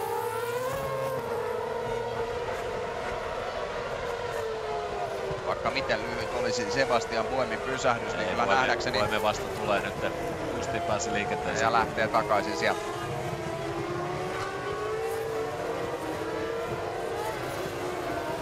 Joo, Ferrarilla näyttää nyt siltä, että tulee ensimmäinen kolmen kilpailun nollaputki pitkään pitkään aikaan. Siltä se tällä hetkellä näyttää. Vuonna 1981 on viimeksi näin käynyt, että ensimmäiset kolme kilpailua on Ferrarilla mennyt nollille. Silloin kuljettajina olivat Gilles Villeneuve ja Didier Pironi vuonna 1981. Se kertoo jotain siitä, kuinka syvällä tällä hetkellä Maranellon punainen ui. Hevosethan ovat hyviä uimaan, mutta kohta tulee vesiraja vastaan. Se on kyllä tota, yllättävän, yllättävän suuri pudotus ollut kyllä tälle kaudelle ja alkukaudelle. Varsinkin kun ajattelin sitä, että kaikki näytti vielä suhkot hyvältä Australiassa kyydin puolelta, mutta kaikki on vaan mennyt niin päin penkkiä kuin olla ja voi, että ei, ei todellakaan ollut semmoista onnea eikä muuta, että kaikki ne tilaisuudet, missä olisi ollut jotain mahdollisuuksia, niin nekin on mennyt kyllä sitten onnen puolesta täysin hukkaan. Sutil Heidfeld kaksikko tässä kaksinkamppailussa. Heidfeldi pääsi kyllä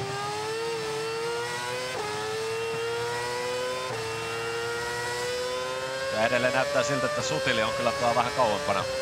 Kyllä. Sutililla noin sekunnin ero pitäisi monitorin mukaan olla. Vettel, Webber, Button tällä hetkellä on kolmen kärki.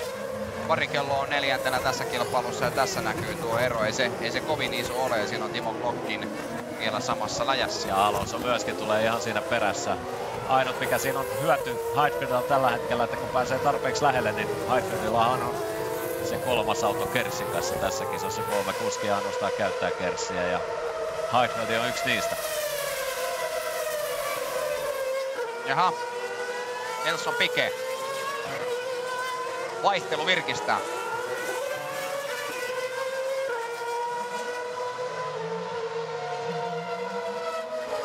Näin voi sanoa, että vähän omia reittejä siinä mennään. Fern, siinä Flavio Briatore No, toteuttaa tilanteen. Ja Tää ei varmasti ole ihan suunniteltu, mutta On näköjään taas vähän osu. keula palataan rikki. en tiedä, tällä menolla en pitäisi kovin suurena ihmeenä sitä, että Bahrainissa toista Renaulta veisi. Ja tässä, niin siinä lähti vaan lapasesta jarrutuksessa ja väärään suuntaan ja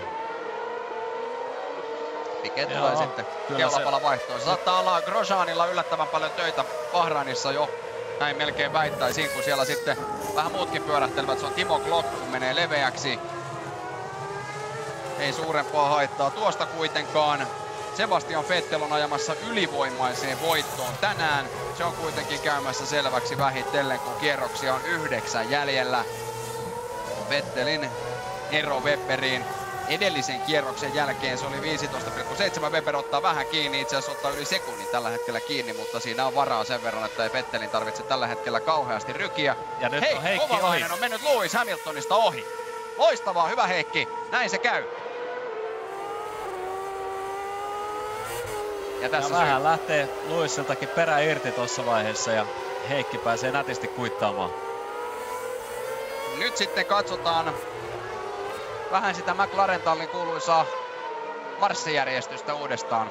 Näin se Heikki on pikkuhiljaa sieltä hiipunut nätisti ylöspäin ja ajanut hyvää kisaa. Tarkoitan sitä, että joskus aiemmin ollaan nähty sellainenkin tilanne, että Heikki Kovalainen on joutunut vähän tilaa antamaan, mutta jotenkin tuntuu, että tässä kilpailussa näissä olosuhteissa ja pistetilanteen ollessa tämä, siihen ei erityistä syytä ja tarvetta pitäisi mielestäni olla. Heikki on viidentenä kilpailussa, on tehnyt hyvän kisan, on ajanut loppujen lopuksi oikeinkin mainiosti. Heikin taktiikka on toistaiseksi osunut hienosti kohdalle. Hän on lähtenyt kuitenkin ruudusta 12 liikenteeseen tähän kilpailuun ja on ajanut hyvän kisan kaiken kaikkiaan, joka kuitenkin viidentenä tällä hetkellä.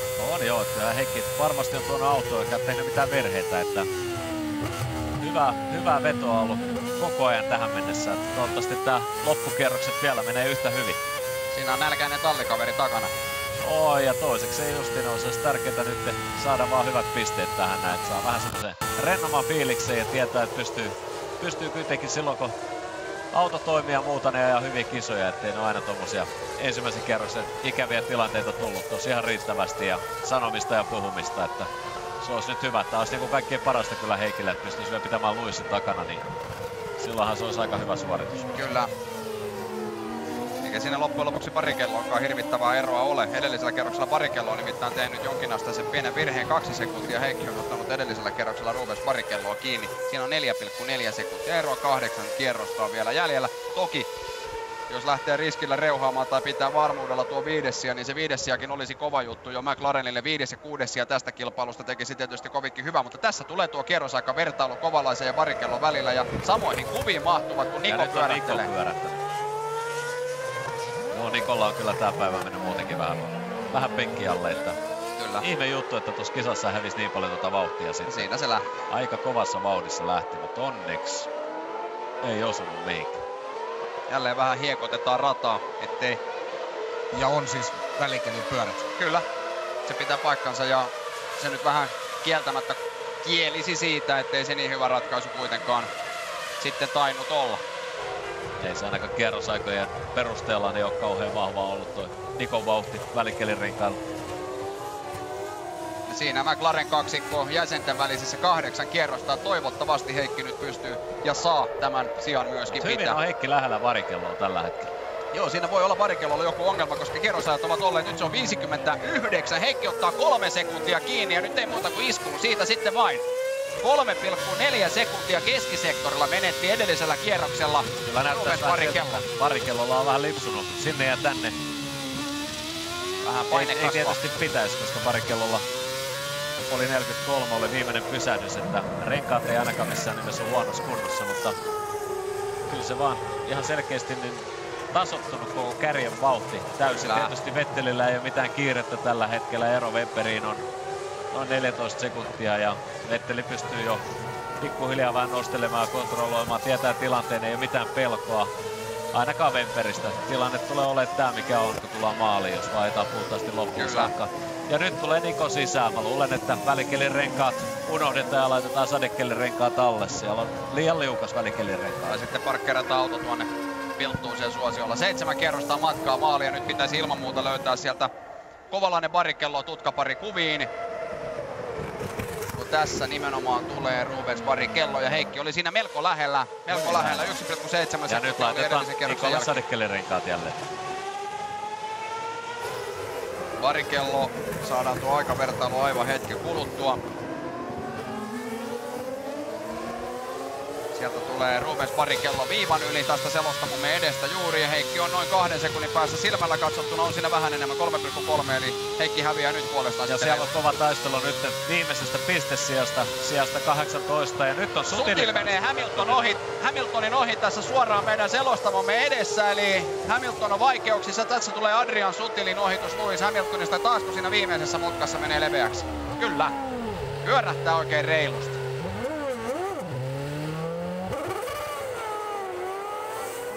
Näin. Anthony Hamiltonin ilme kertoo kaiken oleellisen. Aika paljon on tullut kyllä Lewis Hamiltonille virheitä tänään. Siinä on nyt Sutililla melkoinen paikka. Hän on kuudentena ja Force India ei ole koskaan ennen kuitenkaan ollut pisteillä. Eli siinä mielessä olisi hieno suoritus Adrian Sutililta. Olisi komeat pisteet. Otetaan huomioon, että sinne jää taakse muun muassa pari maailmanmestarismiestä.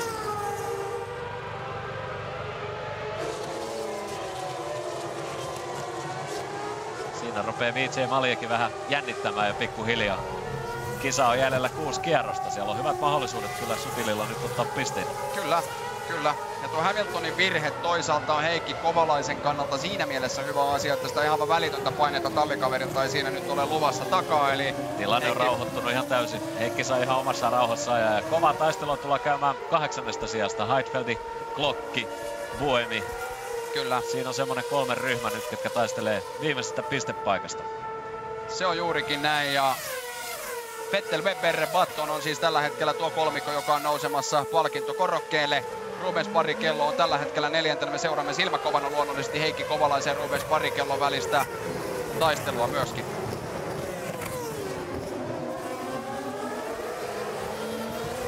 Barrichello 1.56.2. Kovalainen ottaa 0,2 sekuntia kiinni. On melkoista menoa kyllä Sutilella tällä hetkellä. Tietää paineet ja aika paljon vispaa auto siellä täällä. Että toivottavasti nyt ottaa sillä lailla järkevästi ja Glock sen sijaan on lähdössä Heidfeldistä ohi tuonne viimeiseen ohitukseen. Sen voi tästä kertoa, että saadaan myöskin kuviin. Ei riitä. Pystyy. Heidfeldilla on kerssi käytössä. Kerssi laulaa kosteista olosuhteista huolimatta.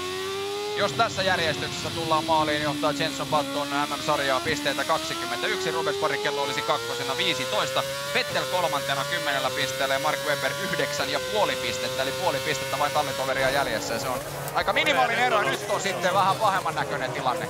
Ja siellä on Sutili. Niin.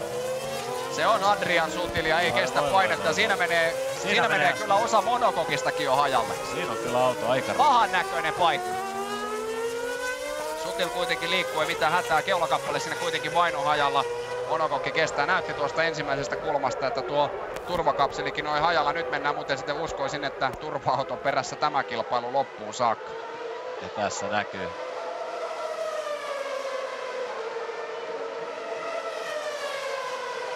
Saman näköinen paikka kuin monella muullakin tänään. Aika raju törmäys, sinne lentää rengasta ja kaikkea muuta. Molemmat renkaat irtoavat, Se mikä on, aika se, on se harvinaista. sama paikka, missä Nelson Piquet aikaisemmin päästeli pitkäksi kekun.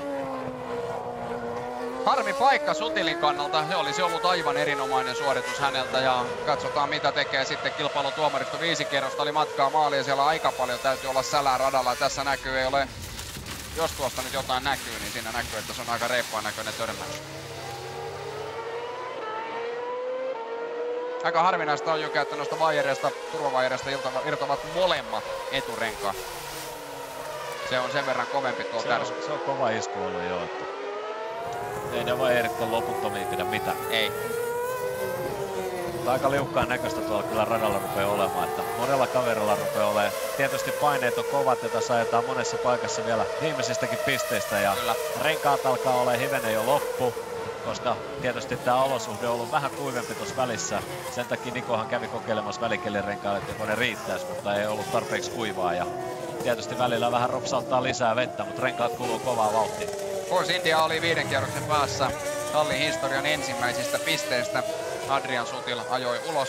Ne haaveet haihtuivat siihen, koska Pisikellä toinen kuljettajista on viidentenä toista tänään, eli hyvin kaukana, hyvin kaukana pisteeltä. Kimi Räikkönen on kahdentena toista, Niko Roosberg kuudentena toista, mutta Heikki Kovalainen on kilpailussa viidentenä ja on ottanut Rubens Barikelloa taas vähän kiinni. Ero on kuitenkin edelleen 2,6 sekuntia. Ja tilanne on muuttunut aika paljon tällä hetkellä. Klokki on seitsemäntenä ja Buemi kahdeksantena, eli Heidfeld ja Alonso on tuossa nyt vähän tipahtanut. Heidfeld on joutunut antamaan vähän periksi tuossa ja Sebastian Buemi ajaa todella kova kisa. Kyllä.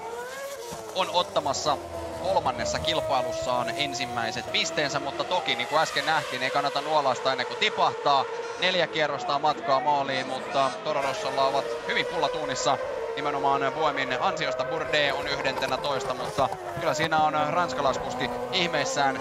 Vielä nuorempi tallikaveri Sebastian Buemi on tullut ja näyttänyt heti ensimmäisissä kisoissa, että kannattaisi olla aika lailla varpaillaan, koska nuoret kaverit tulevat sitten ja vievät tätä hommaa näköjään kuin Sebastian Vettelkin on Mark Webberille näyttänyt, niin tarvittaessa ihan miten haluaa. Kyllä se näin vaan on. Se on, se on uskomaton juttu, mutta kyllä sieltä taas tulee uutta nuorta sukupolvea ja lahjakkaita kuskeja paljon. Ja niitä varmasti näiden suoritusten jälkeen kyllä katsotaan enemmän ja enemmän läheltä kumpaakin Vetteliä ja Buemia ja ajatellaan, että eiköhän sieltä löytyisi muutama muukin tän ikäinen ja kokenut ja nopea kuski. Heikki ottaa puoli sekuntia parikelloa kiinni, mutta se ero on vielä se on silmin nähden aika merkittävä. Se on 2,1 sekuntia. Vielä olisi neljä kierrosta. Varmasti Heikki vähän vielä yrittää, jos tällä tahdilla menee, niin saa juuri ja juuri sinne viimeiselle kierrokselle ehkä vähän ahdistettua parikelloa. Parikello tietää, että yhteenkään virheeseen ei ole varaa. Kovalainen nousee neljänneksi, jos parikello pienen lipsahduksen tekee. Sebastian Vettel on kuitenkin ajamassa turvallisesti, hyvin turvallisesti voittoon tässä kilpailussa marginaali Jenson Buttoniin on 13,3, anteeksi, Mark Webberin on 13,3 sekuntia ja Scuderia Toro Rosso on täydentämässä tätä Red Bullin kaksoista. Oli hienoa päivää Sebastian Buemin toistaiseksi kahdeksannella sijalla, eli hyvältä näyttää sieltä Dietrich Matesicin toimistosta katsoen ainakin tällä hetkellä tämä kilpailu. On ja aika ylivoimasta on kyllä täytyy sanoa, että Red Bullin tiimin meininki ollut tänään, jos vertaa sitten Vettelin ja Battonin väliä, niin se on jo 40 sekuntia melkein, että kyllä on Red Bullilla aihetta juhlaa. Kyllä on ollut hieno kisa. Kummatkin kuskit on tehnyt todella hienon työn ja ei voi sanoa sitä, että nuoret on tietysti kovia ja rämäpäitä ja ajaa todella lujaa, mutta kyllä Weberikin on tehnyt todella hyvää työtä. Kierrosaikojen perusteella aivan hyvin menee ja siinä Buemi ahdistelee Timo Klokkia. Kyllä. Se ei ole lainkaan sanottu vielä, että Glock saa pitää tuon seitsemännen paikkansa tänään Kärkikolmikko näyttää kuitenkin menevän ylhäisessä yksinäisyydessään. Siihen tuskin muutoksia tulee, ellei sitten ulosajoja tai teknisiä vikoja tule vielä viimeisen kolmen kierroksen aikana. Mutta tässä nähdään Sebastian Buemi ja tule, aivan ennakkoluulottomasti haastaa Timo Klokkia. Tulee vielä painostamaan kovasti Klokkia tässä. Parikellon ja sen. Kovalaisen välinen ero on pysynyt suunnilleen ennallaan. 20 Heikki ottaa kiinni.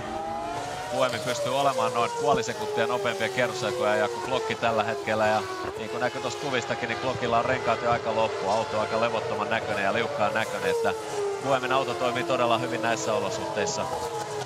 Renkaat on hyvässä kunnossa ja kaverilla on kova nälkä. Klokk on siinä helisemässä, siellä on sen verran nälkäinen kaveri tosiaan, niin kuin Jykä sanoi, niin taustalta hakee tuota paikkaa ja Kovalainen ja Marikello ajavat sektoriaikojen perusteella kovasti samanlaisia kierroksia koko ajan, eli ei siinä, ei siinä iso ero ole. Ja keltaisella lipuilla tästä selvittiin tästä näin, Adrian Sutilin ulosajosta. Ja Hamilton ihan jo kovan kerrossa ja äsken tuossa otti Heikkiä kiinni 70, mutta onneksi ero on Heikin ja Hamiltonin välissä 7 sekuntia, että kaksi kierrosta kisaa jäljellä. Kaksi kierrosta on tosiaan matkaa maaliin, kaksi pitkää kierrosta, mutta Sebastian Vettel voi ajaa ne kaikessa rauhassa. 12 kierroksen marginaali on, eikä siellä nyt tarvitse se, tarvitsisi Christian Hornerin näinkään paljon tätä tilannetta jännittää. Hänen tallinsa on tänään ottamassa kaksoisvoiton Tallin historian ensimmäiseen. Se on käsittämätön juttu. Ensimmäinen voitto tulee saman tien kaksoisvoittona. Sebastian Vettelistä on tulossa ensimmäinen mies sitten Jackie Stewartin, joka ottaa tallin ensimmäisen voiton kahdelle eri tallille.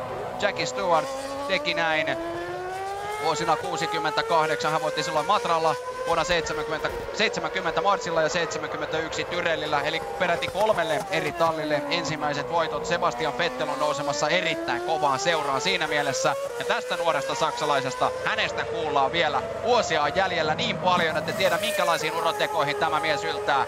Moni oli viime vuonna valmis sanomaan, että ei ollut järkevä veto lähteä Scuderia Toro Rossolta Red Bullille, mutta Katin kontit Sebastian Vettel on näyttänyt, että täältä pesee tarvittaessa myös Linkoainen luotettavuushuolet, Kimistä puhuttiin tämän kilpailun alla. Niistä ei ole vielä ollut merkkiäkään. Toki tässä on vielä piinaavan pitkiä kilometrejä ruutulipulle matkaa, mutta joka tapauksessa Mahtavaa ajoa ollut, ei aivan uskomaton suoritus.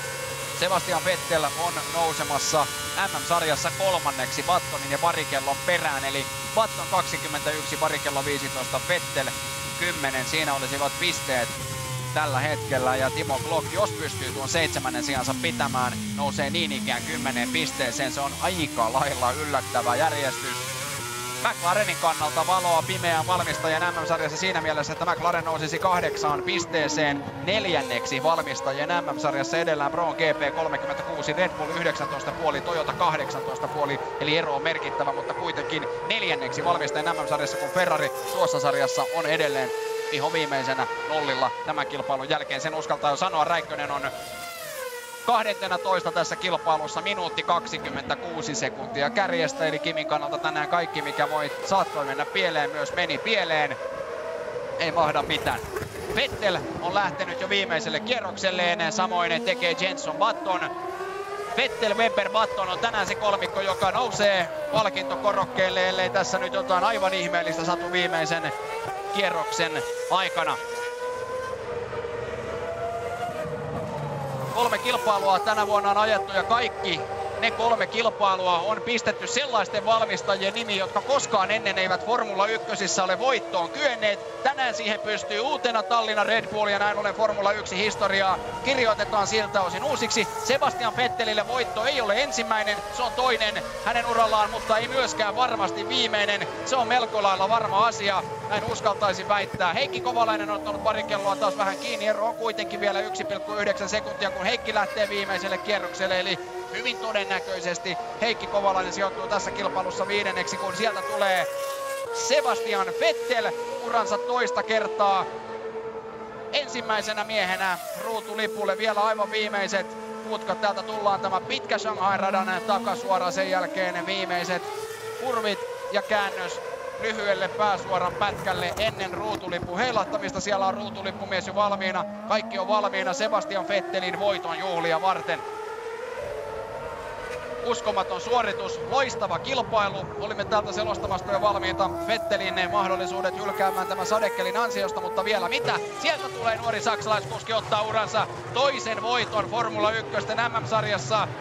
Loistava, loistava suoritus. Hän nousee MM-sarjassa tällä kaudella kolmanneksi kymmenellä pisteellä. Ero kärkeen on 11 pistettä. Mark Webber, kokenut australialaiskuljettaja. Hän ei ole urallaan vielä kertaakaan voittanut, mutta tänään tuo kakkospaikka, se varmasti myöskin maistuu makealta Mark Webberille, joka kuitenkin vielä hetki sitten eh, kärsi katkenneesta jalasta ja on toipunut siitä todella nopeasti palkintopalli kuntoon. Jenson Button kurvaa tänään kolmantena ruutulipulle. Siihen vielä vahvistusta joudumme hetken aikaa odottelemaan. Batton oli nimittäin peräti puoli minuuttia Weberin perässä, eli kyllä on Red Bull ylivoimaisessa iskussa. Sieltä tulee Jenson Button, MM-sarjan kärkinimi nousee 21 pisteeseen ja pitää kärkipaikkansa. Myöskin nousee tänään palkintokorokkeelle, joten saamme hänen kommenttejaan hetken päästä kuulla. Rubens Barrichello täydentää tuon Pro GPnä loistavan päivän. Heikki Kovalainen ei aivan ehtinyt tavoittaa Rubens kelloa, mutta hienosti tulee sieltä Barrichello perässä. Heikki Kovalainen myöskin ruutulipulle viidentenä. Se on upea suoritus Heikiltä. Heikki jättää tallikaverinsa hallitseva maailmanmestari Lewis Hamiltonin tässä kilpailussa kuudenneksi. Ja se on Heikin kannalta tietysti hieno asia. Heikki ajaa upean kilpailun tänään, siitä ei pääse mihinkään. Timo Glock on tänään seitsemäs ja Sebastian Buemis, Scuderia Toro Rosso ottaa uransa ensimmäisen M-pisteen. Great job Sebastian, proud of you, great job. What a race! Thank you guys. Thanks for working so hard fixing the car. It was a dream to drive today. I had so much fun. It was so difficult, but together we made it. Thank you. Thank you, thank you. Thank you so much. Se riemu on ainakin aitoa. Sebastian Petter kiittelee tiimiä kovasta työstä. Oli vaikeaa, mutta myöskin hienoa ja hauskaa oli tuo ajaminen tänään. Vettel sanoi, että se oli kuin unelma tänään tuo ajo ja mikä ettei paalupaikalta voittoon. Näköjään Sebastian Vettel paalupaikalta turva-auton perään startatessa on täysin lyömättömissä hänen rekordinsa tällaisessa tapauksessa, joka on täysin 100 prosenttia. Kyllä joo, että Tää täytyy aina muistaa seuraavissakin kisoissa, että jos on paalupaikka, niin katsotaan, että tuleeko sitä turva-autoa vai ei, mutta kyllä uskomaton kisa. Kyllä täytyy sanoa, että kyllä Red Bullilla oli tänään hieno päivä ja todella hyvin kummatkin kuskit jo, että Sebastian Vetteli tietysti ihan, ihan suvereeni, mutta tietysti Mark Webberin jalka ei ole tietystikään ihan täydellinen vielä ja ihan varmasti vaikuttaa vähän tuohon ajamiseen, sen kyllä näkee koko ajan, mutta todella hyvä suoritus kakkospaikaksi ja antaa kovan vastuksen kyllä Vettelille. Vettelillä on hyvä tiimikaveri ja kummatkin vie kumpaankin eteenpäin ja Vetteli oppii koko ajan paljon Webberiltä. Täytyy sanoa, että tuo Red Bullin vauhti, se puhdas vauhti, mikä noissa autoissa on, se yllätti kyllä meidätkin. En ihan olisi tuota uskonut, kun aika kevyellä autolla herrat lähtivät. Sadekelin kilpailtuun täytyy sanoa, että varmasti tuo turva-auto, tuo alun turva-auto-episodi oli yksi tekijä, joka auttoi Red Bullin ja Sebastian Vettelin tänään voittoon tässä kilpailussa? No ehdottomasti, että kyllähän se oli ihan oikea tapa tulla siinä vaiheessa sitten sisään kierroksella 15 ja Webberin kierroksella 14 ja se taktiikka laitettiin ihan uudelleen nollille ja pelattiin oikealla tavalla siinä vaiheessa, että ihan, ihan järkevästi kyllä tehty ja se oli tietysti, että Vetteli ja Webberi hän teki sen aivan oikealla tavalla, että justiin oikeaan aikaan, sitten tulee turva-auto, no silloin tietysti Battoni ja Barikelo tekee sen oikeaan aikaan, mutta justiin se turva-auto ehkä vähän siinä teki sitä tilannetta vielä, että Vettelille ja Webberille vielä helpommaksi. Ja sen jälkeen kuitenkin auto toimi todella hyvin loppuun saakka. Et ei ole turhaa vaihettu vetoakseleita ja tukivarsia aika useasti tämän viikon aikana. Hieno tulos. Sitten täytyy kyllä ehdottomasti nostaa tuo Heikin hyvä suoritus. Että toi oli hieno. Kiva, että Heikki pääsi viidenneksi ajo, ajo semmoisen hienon kisan kuitenkin, että pystyi pesemään tiimikaverinsa, vaikka Hamiltonilla on ollut enemmän osia ja, ja aerodynamiikkaa ja kaikkea muuta. Se on tärkeä suoritus, todella hyvä. Et tota, kyllä tämä antoi Heikille paljon uskoa ja voimaa lisää ja koko tiimille, että Heikki on hyvä kuski ja sitten täytyy ehdottomasti nostaa vielä tuo Sebastian Puemin kahdeksas ja kova kaveri. Siellä on toinen 20-vuotias kaveri tulossa, että siinä on semmosia nimiä ja uusia kavereita, että huhu. Kimi Räikkösen sijoitus on tänään kymmenes, se ei ole kovin mairitteleva homma. Se Fernando Alonsolle tänään kaksinkertaiselle maailmanmestarille kultainen ananas ja yhdeksäs sija. Red Bullin voitojuhlat, se nähtiin siinä jo alkusoitot sille. Vettelin ja Weberin juhlat ovat melkoiset. Jenson Button kuitenkin edelleen MM-sarjan kärjessä ja tänään sikäli mielenkiintoinen tilanne, että kaksi Red Bullia kärjessä, sijat kolme ja neljä Braun GPlle, sijat viisi ja kuusi McLaren Mercedes. Siinä on tämän päivän järjestys. Ferrarit kolmas kilpailu peräkkäin ilman pisteitä. Ja jo viime kilpailun jälkeen sieltä taktikko Luca Baldisseri sai lähteä tehdas hommiin. En tiedä minkälaiset uudelleenjärjestelyt ovat kohta käynnissä. Auto ei tällä hetkellä yksinkertaisesti ole sellainen, että sillä kamppailtaisiin kärkipaikoista. Tosin Felipe Massa tänään olisi saattanut olla lähellä palkintopallia. Keskeytti kolmannelta sieltä, mutta se jää ikuiseksi arvoitukseksi, mihin Massa olisi pystynyt. Räikkösen kannalta taktiikkakin meni tänään täydellisesti pieleen. Kimi oli kymmenes, ei pystynyt ajoissa ohittamaan. Niko Roosberg ei päässyt missään vaiheessa sieltä enää sitten nousemaan lähemmäs kärkeä. Sen sijaan nämä miehet olivat siellä koko ajan ja nousevat nyt palkintokorokkeelle ensin vaalle ja sitten palkintokorokkeelle ylipaino-ongelmia tuskin tarvitsee näiden herrojen pelätä, vaikka fyysisesti tämä kilpailu ei välttämättä ollut kaikkein vaativin. Ei, ei sitä ongelmaa, mutta tietysti auto ja kuskinpaino yhdessä sitten katsastuksessa, niin siihen sitä varten otetaan nämä painot 605 kiloa on tuo minimipaino auton varusteiden ja tai siis auton kuskin ja kuskin varusteiden kanssa ja sen verran sen auton pitää vähintään painaa. McLarenin jäsenten välinen on jännittävä, yhtä jännittävä kuin Ferrarilla. Ferrarilla tilanne on masentava 0-0 Massa ja Räikkösen välillä. Kovalainen Hamilton 4-4 pisteet tällä hetkellä, kun kolme kisaa on ajettu. Ja Heikki näytti, se oli joka tärkeä havainto, vanhemmat osat autossaan. Hamiltonilla oli selkeä etulyöntiasema.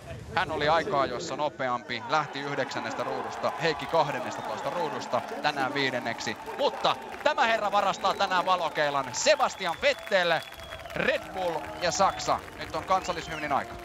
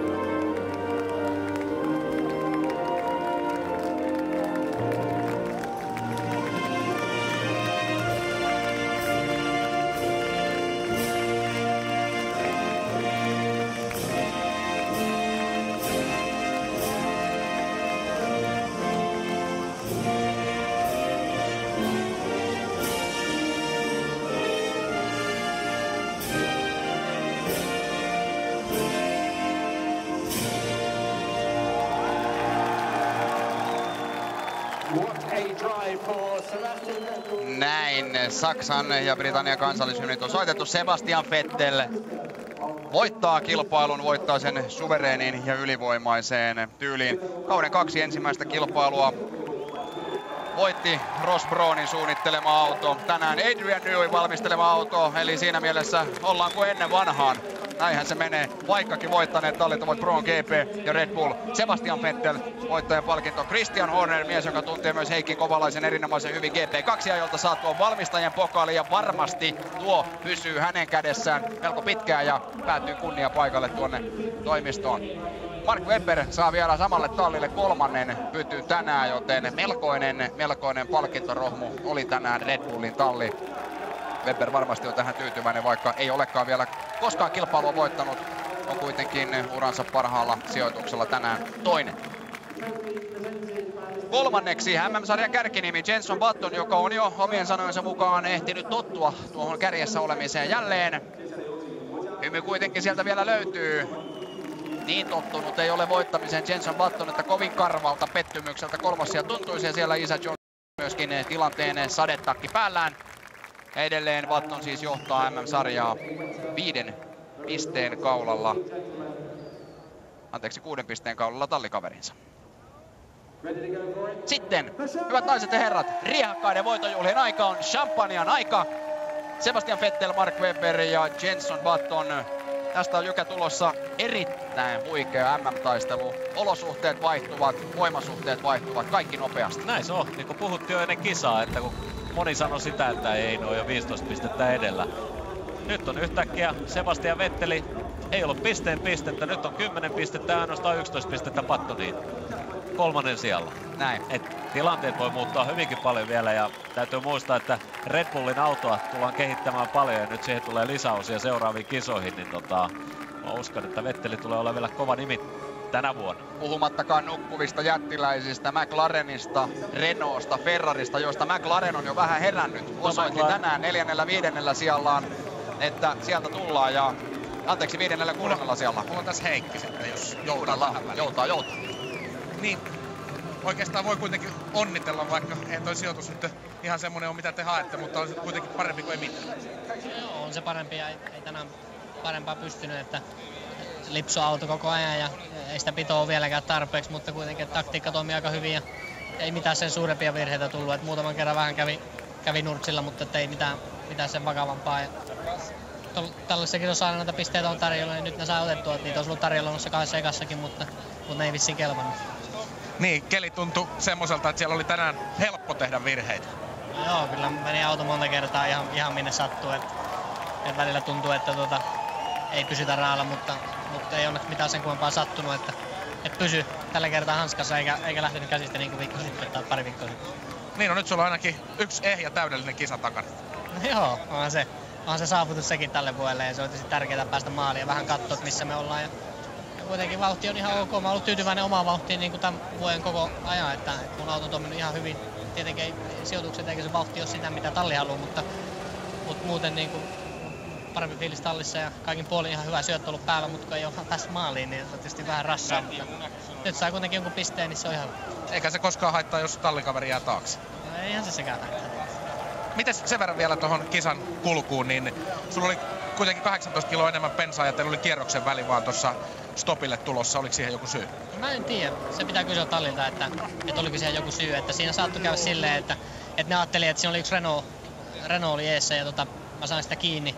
Koska siinä ehkä talli ajatteli, että mä en siitä pääse ohi ja sen taakse jumiin, mutta itse sillä kierroksella, kun mä tulin varikolle, niin se Renault, kumpi se sitten nyt olikaan, niin se meni pitkäksi tuon neulan silmän tuolla tuon tokavikan mutkeen. Mä pääsin sitä ohi, että tuntui, että olisi parempi jatkaa, jatkaa kuitenkin. Sitten mä jäin siis sutilin perään joksikin kierroksen. Että, mutta pitää kysyä, että oliko se joku muukin syy. Että, mutta bensaa mulla kyllä oli tankissa varmaan vaikka kuinka paljon vielä. Että, että se, mä itsekin vähän ihmettelin, mutta, mutta varmaan se joku syy on.